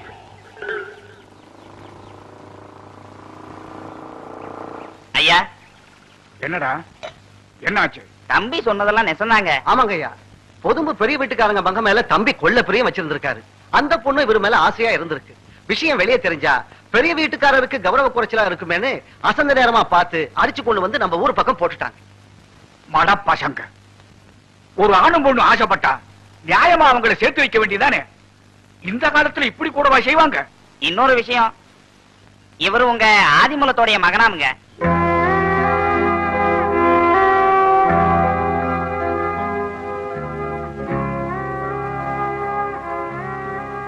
உன் பேரு சுந்தர பாண்டி தானே ஆமா. எங்க அப்பா உங்களுக்கு தெரியுமா? தெரியும்னு மட்டும் சொன்னா நான் உங்க குடும்பத்துக்கு தூரத்து உறவுக்காரன் ஆயிடுவேன் உங்க அப்பா என் கூட பிறக்காத தம்பி என் உசிர காத்த தெய்வம். அவ என் கூட இருந்த ஒவ்வொரு நாளும் எங்க போனாலும் ஒரு சிங்கத்தை துணைக்கு கூட்டிட்டு போன மாதிரி நெஞ்ச நிமித்துக்கிட்டு போவேன். நானும் அப்பனும் உறப்பன் ஒரு கம்மா ஏலத்துக்கு போயிருந்தோம். அந்த வருஷா வருஷம் ராஜாங்கங்கிற ஒருத்தனே அந்த கிராமத்தாளுங்களை மிரட்டி ஏலத்துக்கு எடுத்துட்டு இருந்தான். அதை தட்டி கேட்க போன அப்ப அப்பன் அன்னைக்கு எரிமலையா வெடிச்சிட்டான். ஏய், ஊரு சொத்தை ஒருத்தனே அனுபவிக்கிறதுக்கு இது ஒண்ணும் பாட்ட முட்டை சொத்து இல்ல. குத்தகங்கிற பேர்ல ஏதோ ஒரு சொற்ப தொகையை கொடுத்து கம்மாயில இருக்கிற மீனை ஏலம் எடுப்பீங்க. மறுபடியும் நீங்களே வேற ஒருத்தருக்கு ஏலம் விட்டு ஆயிரக்கணக்கில் கொள்ள அடிப்பீங்க இதனால ஒரு தனிப்பட்ட மனுஷன் வாழ்றான தவிர இந்த கிராமத்துக்கு என்ன பிரயோஜனம்? இந்த வருஷம் பொது ஏலம் விட்டே ஆகணுங்க. சீயாம் பாட்டம் காலத்துல நாங்க தான் ஏலத்துக்கு எடுத்துட்டு வரோம். அந்த முறையை மாத்தவே முடியாது. அடிங்கொப்பன் தன்னான மாத்த முடியாதுங்கிறதுக்கு என்ன சட்ட புத்தகமா? யார அதிகமா ஏலம் கேட்கிறாங்களோ விட வேண்டியதுதானே அதிகமா பணம் கிடைச்சா அதை வச்சு ஆஸ்பத்திரி பள்ளிக்கூடம் எல்லாம் கட்டலாம் இல்லீங்களா? பள்ளிக்கூடம் கட்டுறதுக்கு தான் அரசாங்கம் இருக்கு. நீ என்ன பெருசா பூச்சாண்டி காட்டுற? அரசாங்கமே எல்லாம் செய்யணும்னு நினைக்க கூடாதுப்பா. நாமளே குளத்தை வெட்டணும் கோயிலை கட்டணும். இப்படி நம்ம நாட்டில் உள்ள எல்லா கிராமமும் நினைச்சா நாமும் சீக்கிரம் ஒரு பெரிய பணக்கார நாடு ஆயிடுவோம். இது வரைக்கும் மலமட்டத்தனமா இருந்தாச்சு. இனிமே இருக்க விட மாட்டேன். இன்னைக்கு பொது ஏலம் விடணும் இல்லன்னா விட வைப்பேன். அது வரைக்கும் நீ உயிரோட இருந்தா ஏலே, என்னடா நெஞ்ச நிமித்தற சண்டைன்னு வந்துட்டா. எங்களுக்கு கத்தி சண்டை கம்பு சண்டை கை சண்டை எல்லாம் அத்துப்படி. சண்டையில உங்களோட பெரிய ஆளுங்களை நான் பார்த்திருக்கிறோம். பிடித்து விட்ட நான் இருக்கிற இடம் தெரியாம போயிடுவேன். இந்த ராஜாங்கத்தை பகச்சுக்கிட்டு எவனுமே உயிரோட இருந்தது இல்ல டாய் ஆதிமூலம் ஒன்ன நான் வெட்டாம விட மாட்டேன்டா. அதிமூலம் என்ன இது சில்லற பசங்க கிட்ட போய் நம்ம அரசாங்கம் மூலமா நடவடிக்கை எடுப்போம் வா நாலு பேருக்கு மத்தியில இந்த ராஜாங்கம் பைய உன்னை வெட்டுவேன் குத்துவேன்னு சொல்லிட்டு போனானா? ஏதாவது ஏடா கூடமா நடந்து போச்சுன்னா போன உசிறு திரும்புமாடா? போய். ஏன் கியாமையான்னு கத்துற? இப்ப என்ன நடந்து போச்சு? என்ன நடக்கணும்? ஊர் பிரச்சனையை ஓரம் கட்டிட்டு பொழைக்கிற வழியை பாருங்க. ஆமாண்டா. உன்னை நம்பி இந்த வீட்டுல ரெண்டு உசிர் இருக்கு. அத மறந்துடாத. ரெண்டு இல்லப்பா ஒன்னையும் சேர்த்து மூணு உசுரு அந்த நினைப்பு இருக்கிறதுனாலதான் அந்த ராஜாங்கம் பைய வெட்டுவேன்னு சொன்னப்போ அவனை உசுரோட விட்டுட்டு வந்தேன். சரி சரி விடுங்க. என்னங்க? நம்ம சுந்தர பாண்டி பிறந்து நாளையோட ஒரு வருஷம் ஆகுது. என்னது? நம்ம சுந்தரபாண்டி பிறந்து அதுக்குள்ள ஒரு வருஷம் ஆகி போச்சு ஆமாங்க. அப்ப பாண்டி கோயிலுக்கு முடி இறக்கி காது குத்தி பொங்க வச்சிட வேண்டியதா? என்னப்பா? ஆ செஞ்சிட வேண்டியதுதான்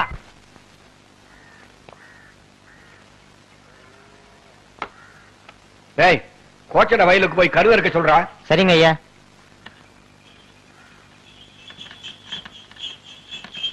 என்னப்பா ஆதிமூலம் பலமான யோஜனை போல் இருக்கு. அந்த ராஜாங்கம் பையன் வெட்டுவேன் குத்துவேன்னு சொன்னானே அத மனசுல போட்டிருக்கிறியா? அதெல்லாம் ஒண்ணு இல்லைங்க. இன்னைக்கு மகன் சுந்தரபாண்டியோட பிறந்த நாள். மடையா வண்டியை திருப்படா. முதல்ல வீட்டுக்கு போய் உன் மகனை பார்த்துட்டு போலாம். வேணாங்க. போற வேலையை முடிச்சிட்டு திரும்பி வரும்போது பார்க்கலாம். அதுவும் சரிதான். போலீஸ் ஸ்டேஷன்ல இருந்து திரும்பும் போது உன் மகனுக்கு என்னென்ன வேணுமோ அத்தனையும் வாங்கி தரேன். அதெல்லாம் வேணாங்க. டேய் உன் மகன் வேற என் மகன் வேறையாடா? பேசாம ஓட்டு.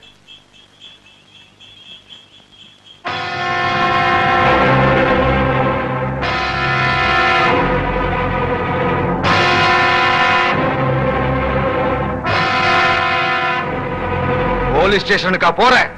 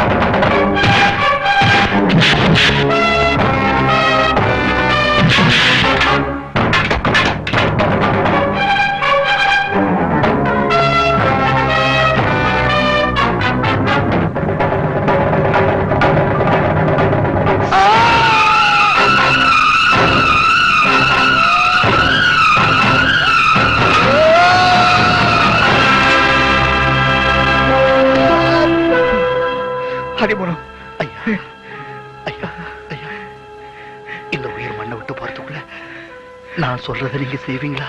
என்னப்பா? என் மகன் சுந்தரபாண்டி. சுந்தரபாண்டி எங்க அப்பா என்ன அனாதையா விட்டுட்டு போயிட்டான்னு சொல்ற நிலைமை ஏற்படுத்தக்கூடாது. அநியாயத்தையும் அக்கிரமத்தையும் எதிர்த்து கேட்கிற சிங்கக்குட்டியா அவனை நீங்க வளர்க்கணும். அத இந்த ஊரே பேசணும். அதை கேட்டு இந்த ஆத்மா சந்தோஷப்படணும்.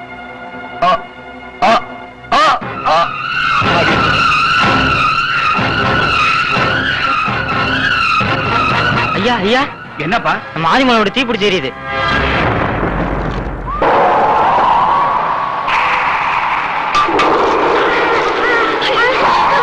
எரியுது. எரியுது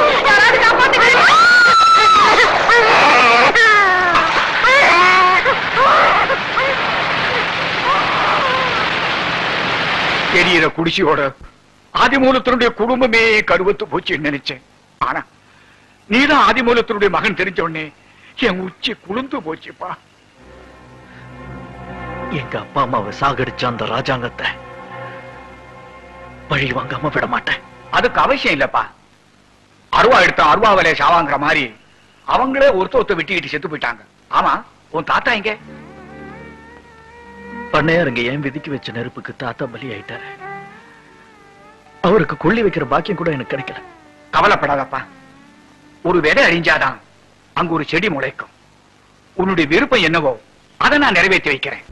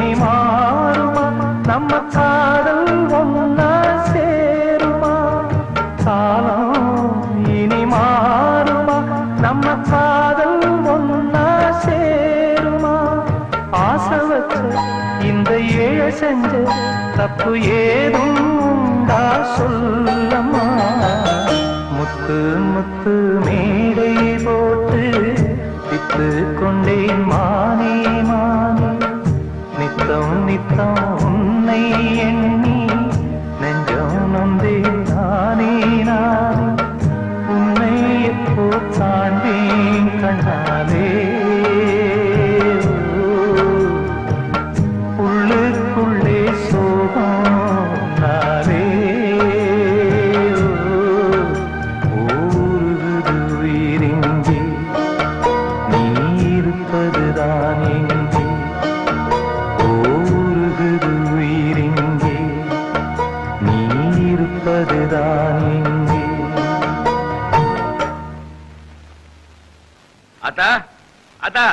என்னப்பா? பூங்குடி சிவராமாம்பலம் வீட்டுல இருந்து நம்ம செல்லமினாவை பொண்ணு கேட்டு வர்றாங்களா? ஒரு ஆள் வந்து சொல்லிட்டு போனான் பூங்குடி அம்பலகாரரே நம்ம வீட்டுக்கு பொண்ணு கேட்டு வர்றாங்களா? எவ்வளவு பெரிய இடம்? அடே அப்பா அவரே நம்ம வீட்டுக்கு சம்பந்தம் பேச வர்றாருன்னா அண்ணே நம்ம பொண்ணு குடுத்து வச்சிருக்கணும். எல்லாம் பொருந்தி வந்தா முடிச்சிட வேண்டியதானே என்னங்க யோசனை பண்ணிட்டு இருக்கீங்க? நம்ம ராஜாத்தி பிறந்த நேரம் நல்ல இடமா தேடி வந்திருக்கு. பேசி முடிச்சிருங்க. நீ விலகடி. பெத்தவள ஒரு வார்த்தை கேட்க வேணாமா? நீ என்னமா சொல்ற? இதெல்லாம் என்கிட்ட கேட்டுக்கிட்டு. பெரியவங்க நீங்க பார்த்து முடிவு செஞ்சா சரிதான். சரி அஞ்சு மணிக்கு வந்துடுறாங்களா? நீ பலகாரத்துக்கு ஏற்பாடு பண்ணு போ.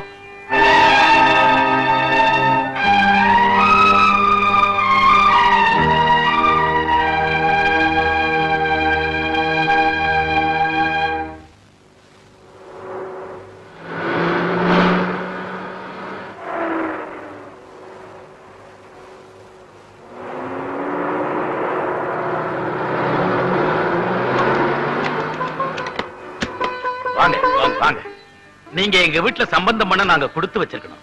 அம்பலகாரருக்கு கல்யாண வயசுல பையன் இருக்கிறதா நான் கேள்விப்பட்டது இல்ல மாப்பிள்ள வந்திருக்காருங்களா? வந்துகிட்டே இருக்கிறாரு.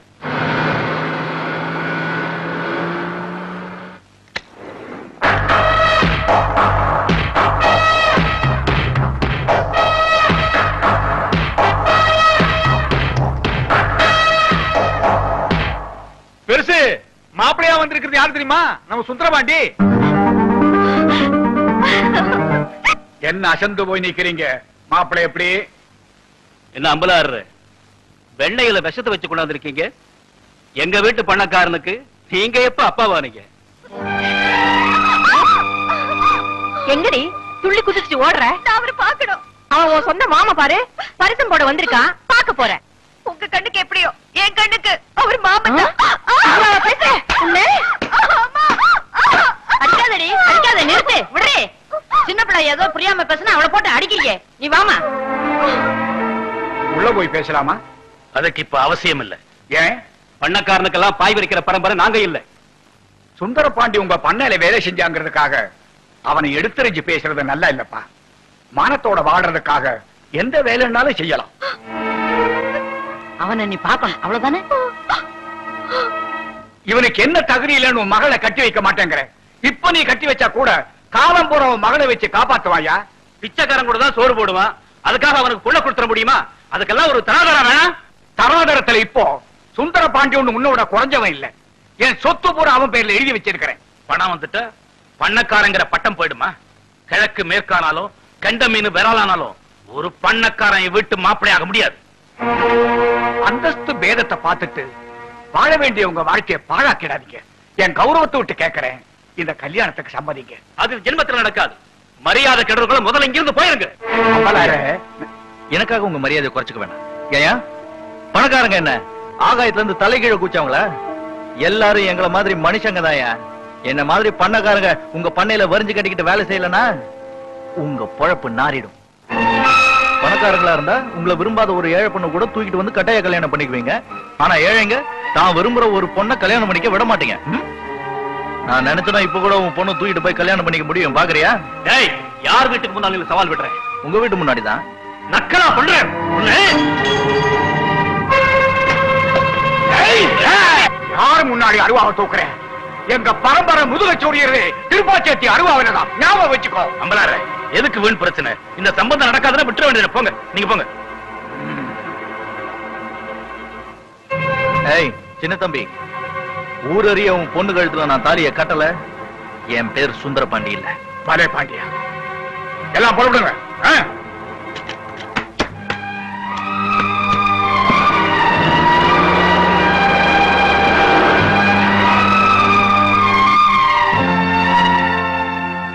செல்லமீனா இப்படி பச்சை தண்ணி கூட பல்லப்படாம குத்த வச்சுக்கிட்டு இருந்தா எப்படிமா கொஞ்சமாவது சாப்பிடு கண்ணு ஊமை ஊரை கெடுக்கும் பெருச்சாலி வீட்டை கெடுக்கும்னு சும்மாவா சொன்னாங்க. அது இங்க சரியா போச்சு. இத பாருடி அவனை நினைச்சிருக்கிற மனசுல இன்னொன்னையும் சேர்த்து நினைச்சுக்க. ஈரேழு உலகம் தலைகீழ நின்னாலும் அந்த பண்ணக்கார பையலுக்கு உன்னை கழுத்து நீட்ட விட மாட்டோம். பொங்க வைக்கணுமேனு சர்வ செட்டியை கழுவி எடுத்தா சாணி செட்டியும் கூட கூப்பிட்டுச்சா அந்த கதையாவில இருக்கு. நடந்தது மறந்துட்டு பேசாம சாப்பிடு. செல்லமீனா உன் நல்லதுக்கு தானே அம்மா இம்புட்டு தூரம் சொல்லுது. கொஞ்சமாவது சாப்பிடு கண்ணு விடுக்கா பசிச்சா சாப்பிட்டோம் இல்லன்னா செத்து தொலைட்டோம். என்னடி சாகணும் போகணும்னு ஏசிக்கிட்டு இருக்கீங்க? பின்ன என்ன? கிளிப்புள்ளைக்கு சொல்ற மாதிரி சொல்லிக்கிட்டு இருக்க? அசைய மாட்டேன்றாளே உங்க பேத்தி. நீங்க போங்கடி நான் சொல்றேன். நீங்களே உங்க பேத்தியை கட்டி அழுங்க. எப்படியாவது சமாதானம் பண்ணி சாப்பிட வைங்க அத்தை. அம்மாடி செல்லமீனா இப்ப என்ன நடந்து போச்சு? போட்டோ கொத்தோளம் இடிஞ்சு விழுந்த மாதிரி இப்படி சரிஞ்சு போய் உட்கார்ந்துட்ட? உனக்கும் சுந்தரபாண்டிக்கும் கல்யாணம் நடக்கணும் விதி இருந்தா யார் சொல்லி நிக்காது. ஆத்தா இங்கிட்டு வா. இத வரேன். நீ சாப்பிடு கண்ணு. ஆத்தா உனக்கு புத்திக்கிட்டு இருக்கா? சின்ன பிள்ளை தான் அடம் பிடிக்கிறான்னா நீ வேற சூடேத்தி விட்டுட்டு இருக்கிய. அது இல்லடா உங்கள மாதிரி நானும் தாட் போட்டுன்னு பேசினா அந்த பொண்ணு மனசுல நினைச்சவன் கிடைக்கலன்னு அரளி விதைய அரைச்சு குடிச்சிட்டா என்ன செய்யறது நீ சொன்ன சீயக்காய் ஐட்டம் இருக்க டாப்புனாலும் டாப்பு டாப்போ டாப்புடா. அட சும்மா இருங்கண்ணே அவன் ஏன்டா கழட்டி விட்டானே? என்னடா சொல்ற? என்ன வேலையில இருந்து போய் சொல்லிட்டான் இது பண்ணையாருங்க செய்யற பரம்பரை பழக்கம் தான்டா. அதை விடுங்கண்ணே உங்க பெரியவன்கிட்ட சொல்லி எனக்கு ஒரு வேலை வாங்கி கொடுங்கண்ணே. அங்க வேலை பார்த்தான்னா இங்க வேலை பார்த்தானா நாம என்ன கலெக்டர் உத்தியோகமா பாக்குறோம்? எவன் உன்னை வேலையை விட்டு நிப்பாட்டினானோ அவங்கிட்டயே சேர்த்து விடுறேன். எப்படிண்ணே அவன் மூத்த பொண்டாட்டிக்கு பிள்ளை இல்லையில ஆமா. அவளை அமைக்கிறேன். அண்ணே அவங்க எனக்கு சோறு போட்டவங்க அண்ணே அது இல்லடா. அவளை பகடையா வச்சு உனக்கு வேலை வாங்கி தர்றேன்னு சொல்றேன். ஓஹோ நீங்க அப்படி வரீங்களா? நான் அசிங்கமா நினைச்சு விட்டேன். வாங்க. அப்பனே முருகா ஞான பண்டிதா எங்க எல்லாத்துக்கும் நல்ல சுகத்தை கொடுப்பா. அப்படியே என் வயித்துலயும் ஒரு வாரிசு கொடுப்பா.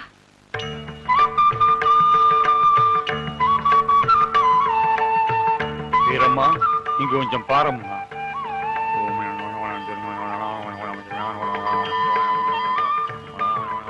சாமி முன்ன பின்ன தெரியாது என்ன?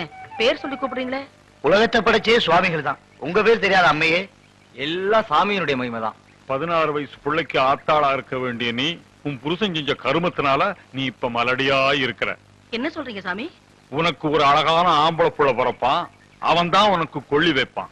அப்படி நடக்கணும்னா நீயும் உன் புருஷனும் ஒரு பரிகாரம் பண்ணணும். அப்படியே பண்றேன் சாமி. உன் புருஷன் செஞ்ச பாவத்துக்கு உன் வீட்டு பண்ணக்காரனை மறுபடியும் வேலைக்கு சேர்த்துக்கணும். இந்த பிரகாரத்தை உன் புருஷன் பதினெட்டு வாட்டி சுத்தணும்.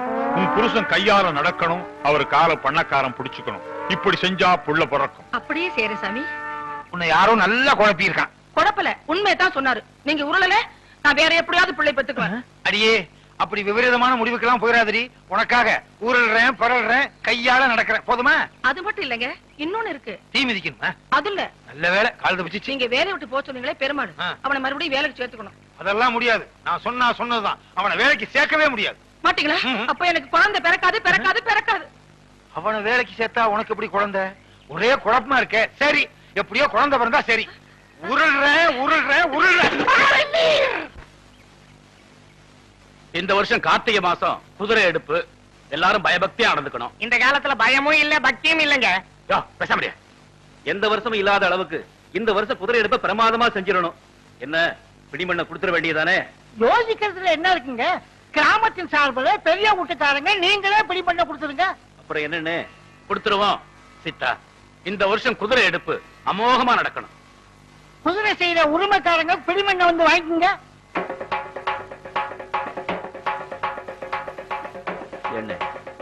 நம்ம வீட்டு குதிரையை பிரம்மாண்டமா செய்யணும்னு நினைச்சுக்கிட்டு இருக்கிறோம். சின்ன பசங்களா இருக்காங்க. இவனுங்க செஞ்சிருவானுங்களா?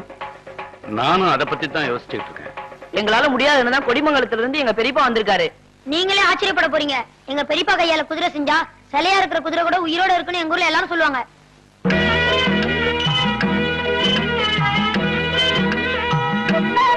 வாங்க. நீங்க தான் கொடிமங்கலத்துக்காரரா? இந்த வருஷம் எங்க வீட்டுக்காக செய்யற குதிரையை பார்த்து மதுரை ஜில்லாவே மலைச்சு போயிடணும். இந்தாங்க முன் பணம்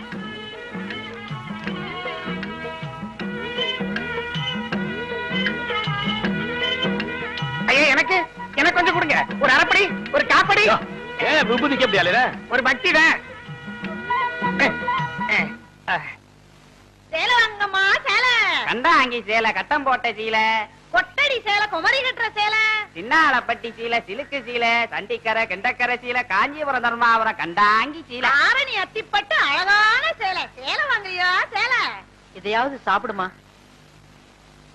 சொன்ன கேளுமா? சீலை வாங்குங்கம்மா சீலை சீலை. சீலை வாங்குறீங்களாம்மா? சீலை வேண்டாம் ஒண்ணு வேண்டாம் போ. நல்ல சேலைம்மா வாங்கிக்கோங்கம்மா.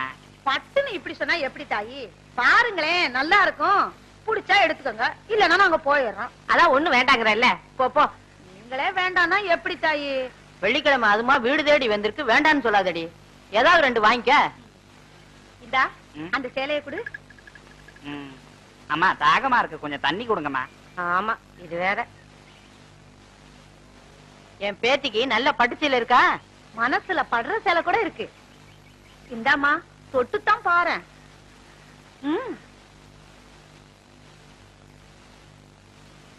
பாரேன்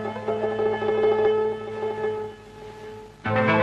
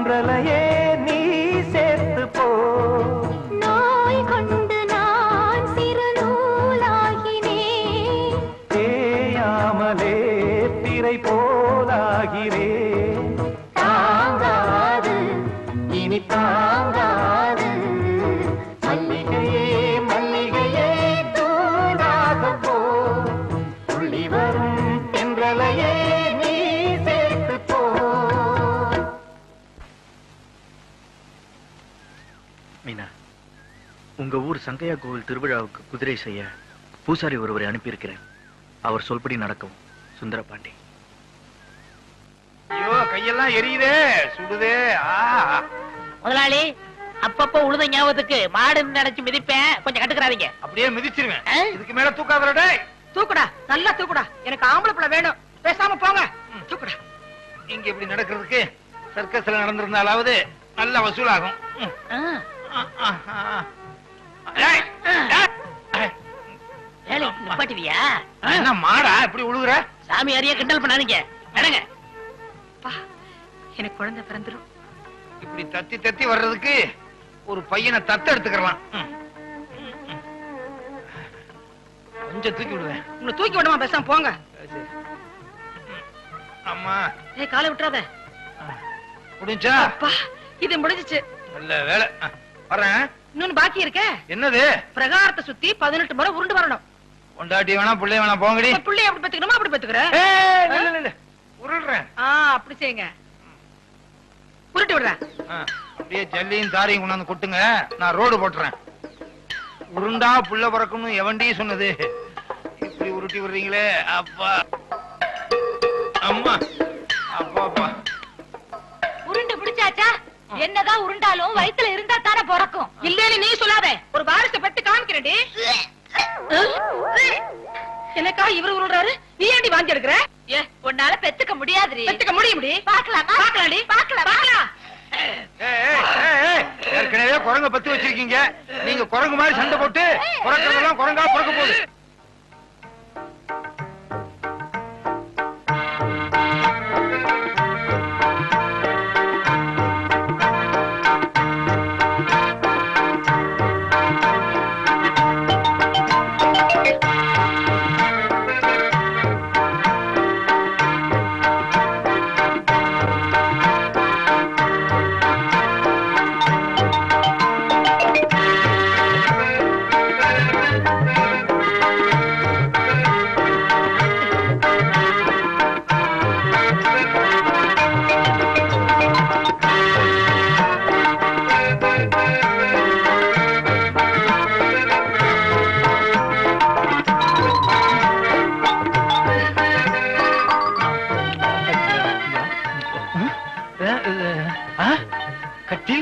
மலர் மாலைகள் பாலும் பழமும். என்ன அறியாமலே நான் மூணாவது கல்யாணம் பண்ணிட்டேனா?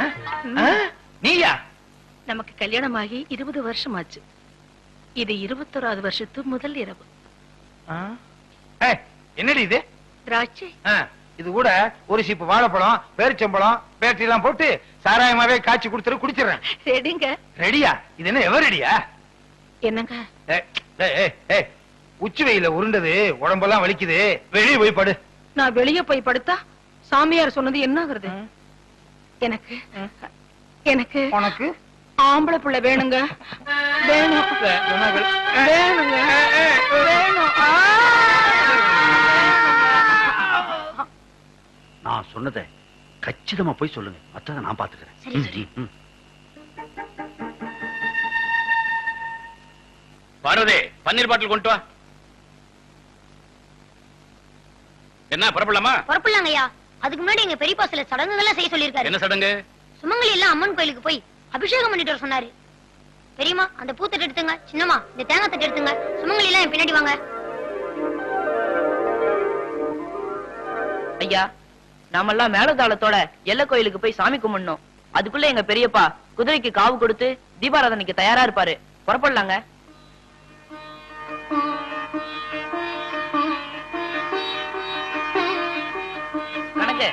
வழிவிடு பிள்ளையாருக்கு ஒரு தேங்காய் உடைச்சிட்டு வந்துருங்க. ஒரு தேங்காய் எனக்கு ஒன்பது தேங்காய் உடைக்கிறேன். எனக்கு மாத்திரம் வழி விட்டா சரி.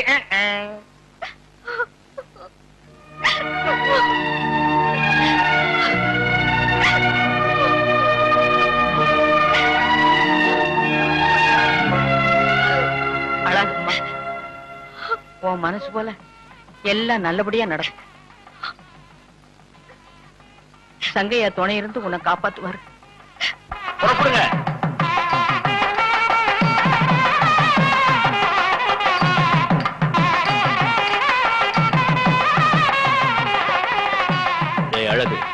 முத்து நீங்க ரெண்டு பேரும் காவலுக்கு இங்கே இருங்க. ஜாக்கிரதை. சரிங்க. என்ன?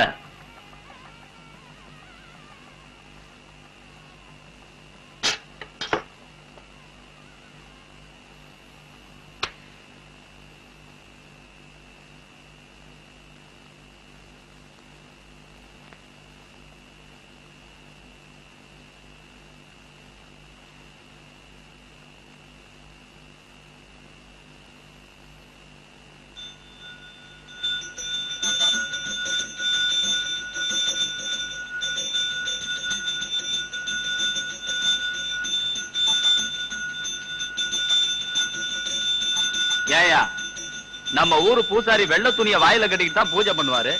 இவர் மஞ்ச துணியில முக்காடுமுல போட்டிருக்காரு. அவர் ஒரு பழக்கம் போல் இருக்கு.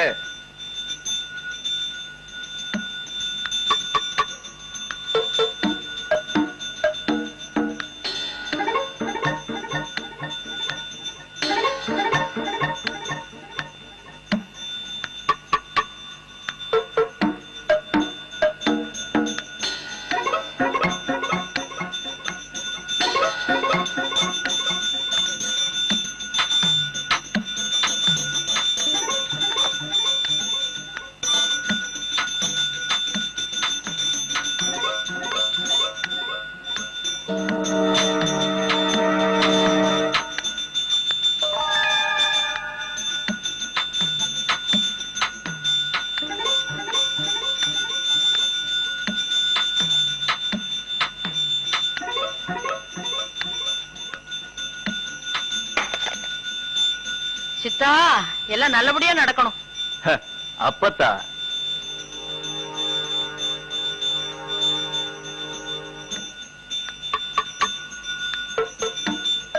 இந்த ஏணி வழியா போனா உள்ள நீ இருக்கிறதுக்கு இடம் வசதியா இருக்கு. அங்க பாருமா. இங்க பாருமா. கழுத்து கீழே இருக்கிற கண்ணாடி வழியா எல்லாரையும் நீ பார்க்கலாம்.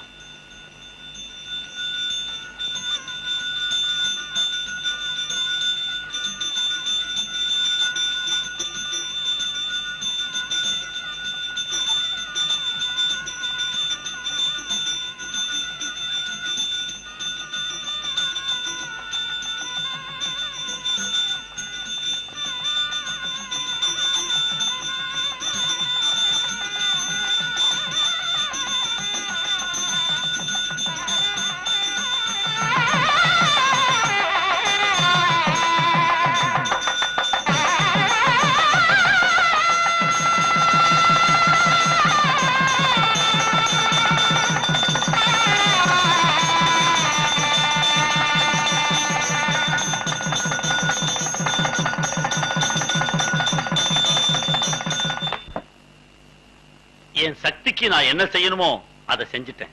சங்கையா நீதான் வெற்றிகரமா நடத்தி கொடுக்கணும். புறப்படலாம்.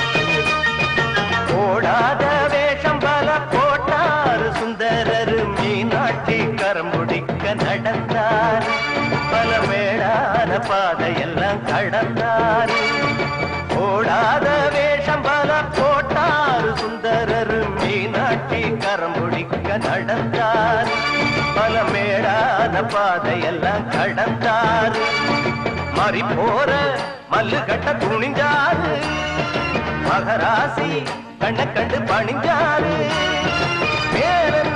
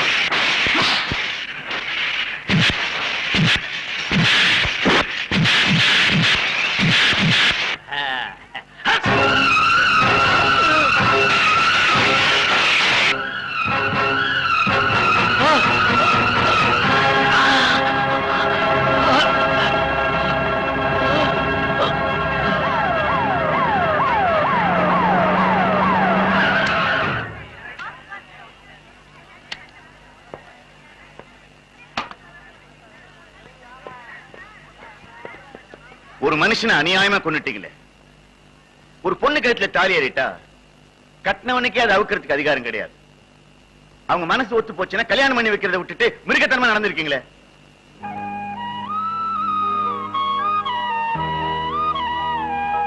எத்தனை லாலா லஜபதி ராய் காந்திஜி பிறந்தாலும் உங்களை எல்லாம் மாத்தவே முடியாதுப்பா. விரோதத்தை மறந்துட்டு தம்பதி ஆயிட்ட அவங்கள ஆசீர்வாதம் பண்ண உண்மை காதலை உயர்வும் தாழ்வும் ஒருபோதும் நெருங்காது. அன்பின் தூய்மையை நீரும் நெருப்பும் எரிக்காது நனைக்காது. வேதங்கள் இல்லாத அன்பே காதல்.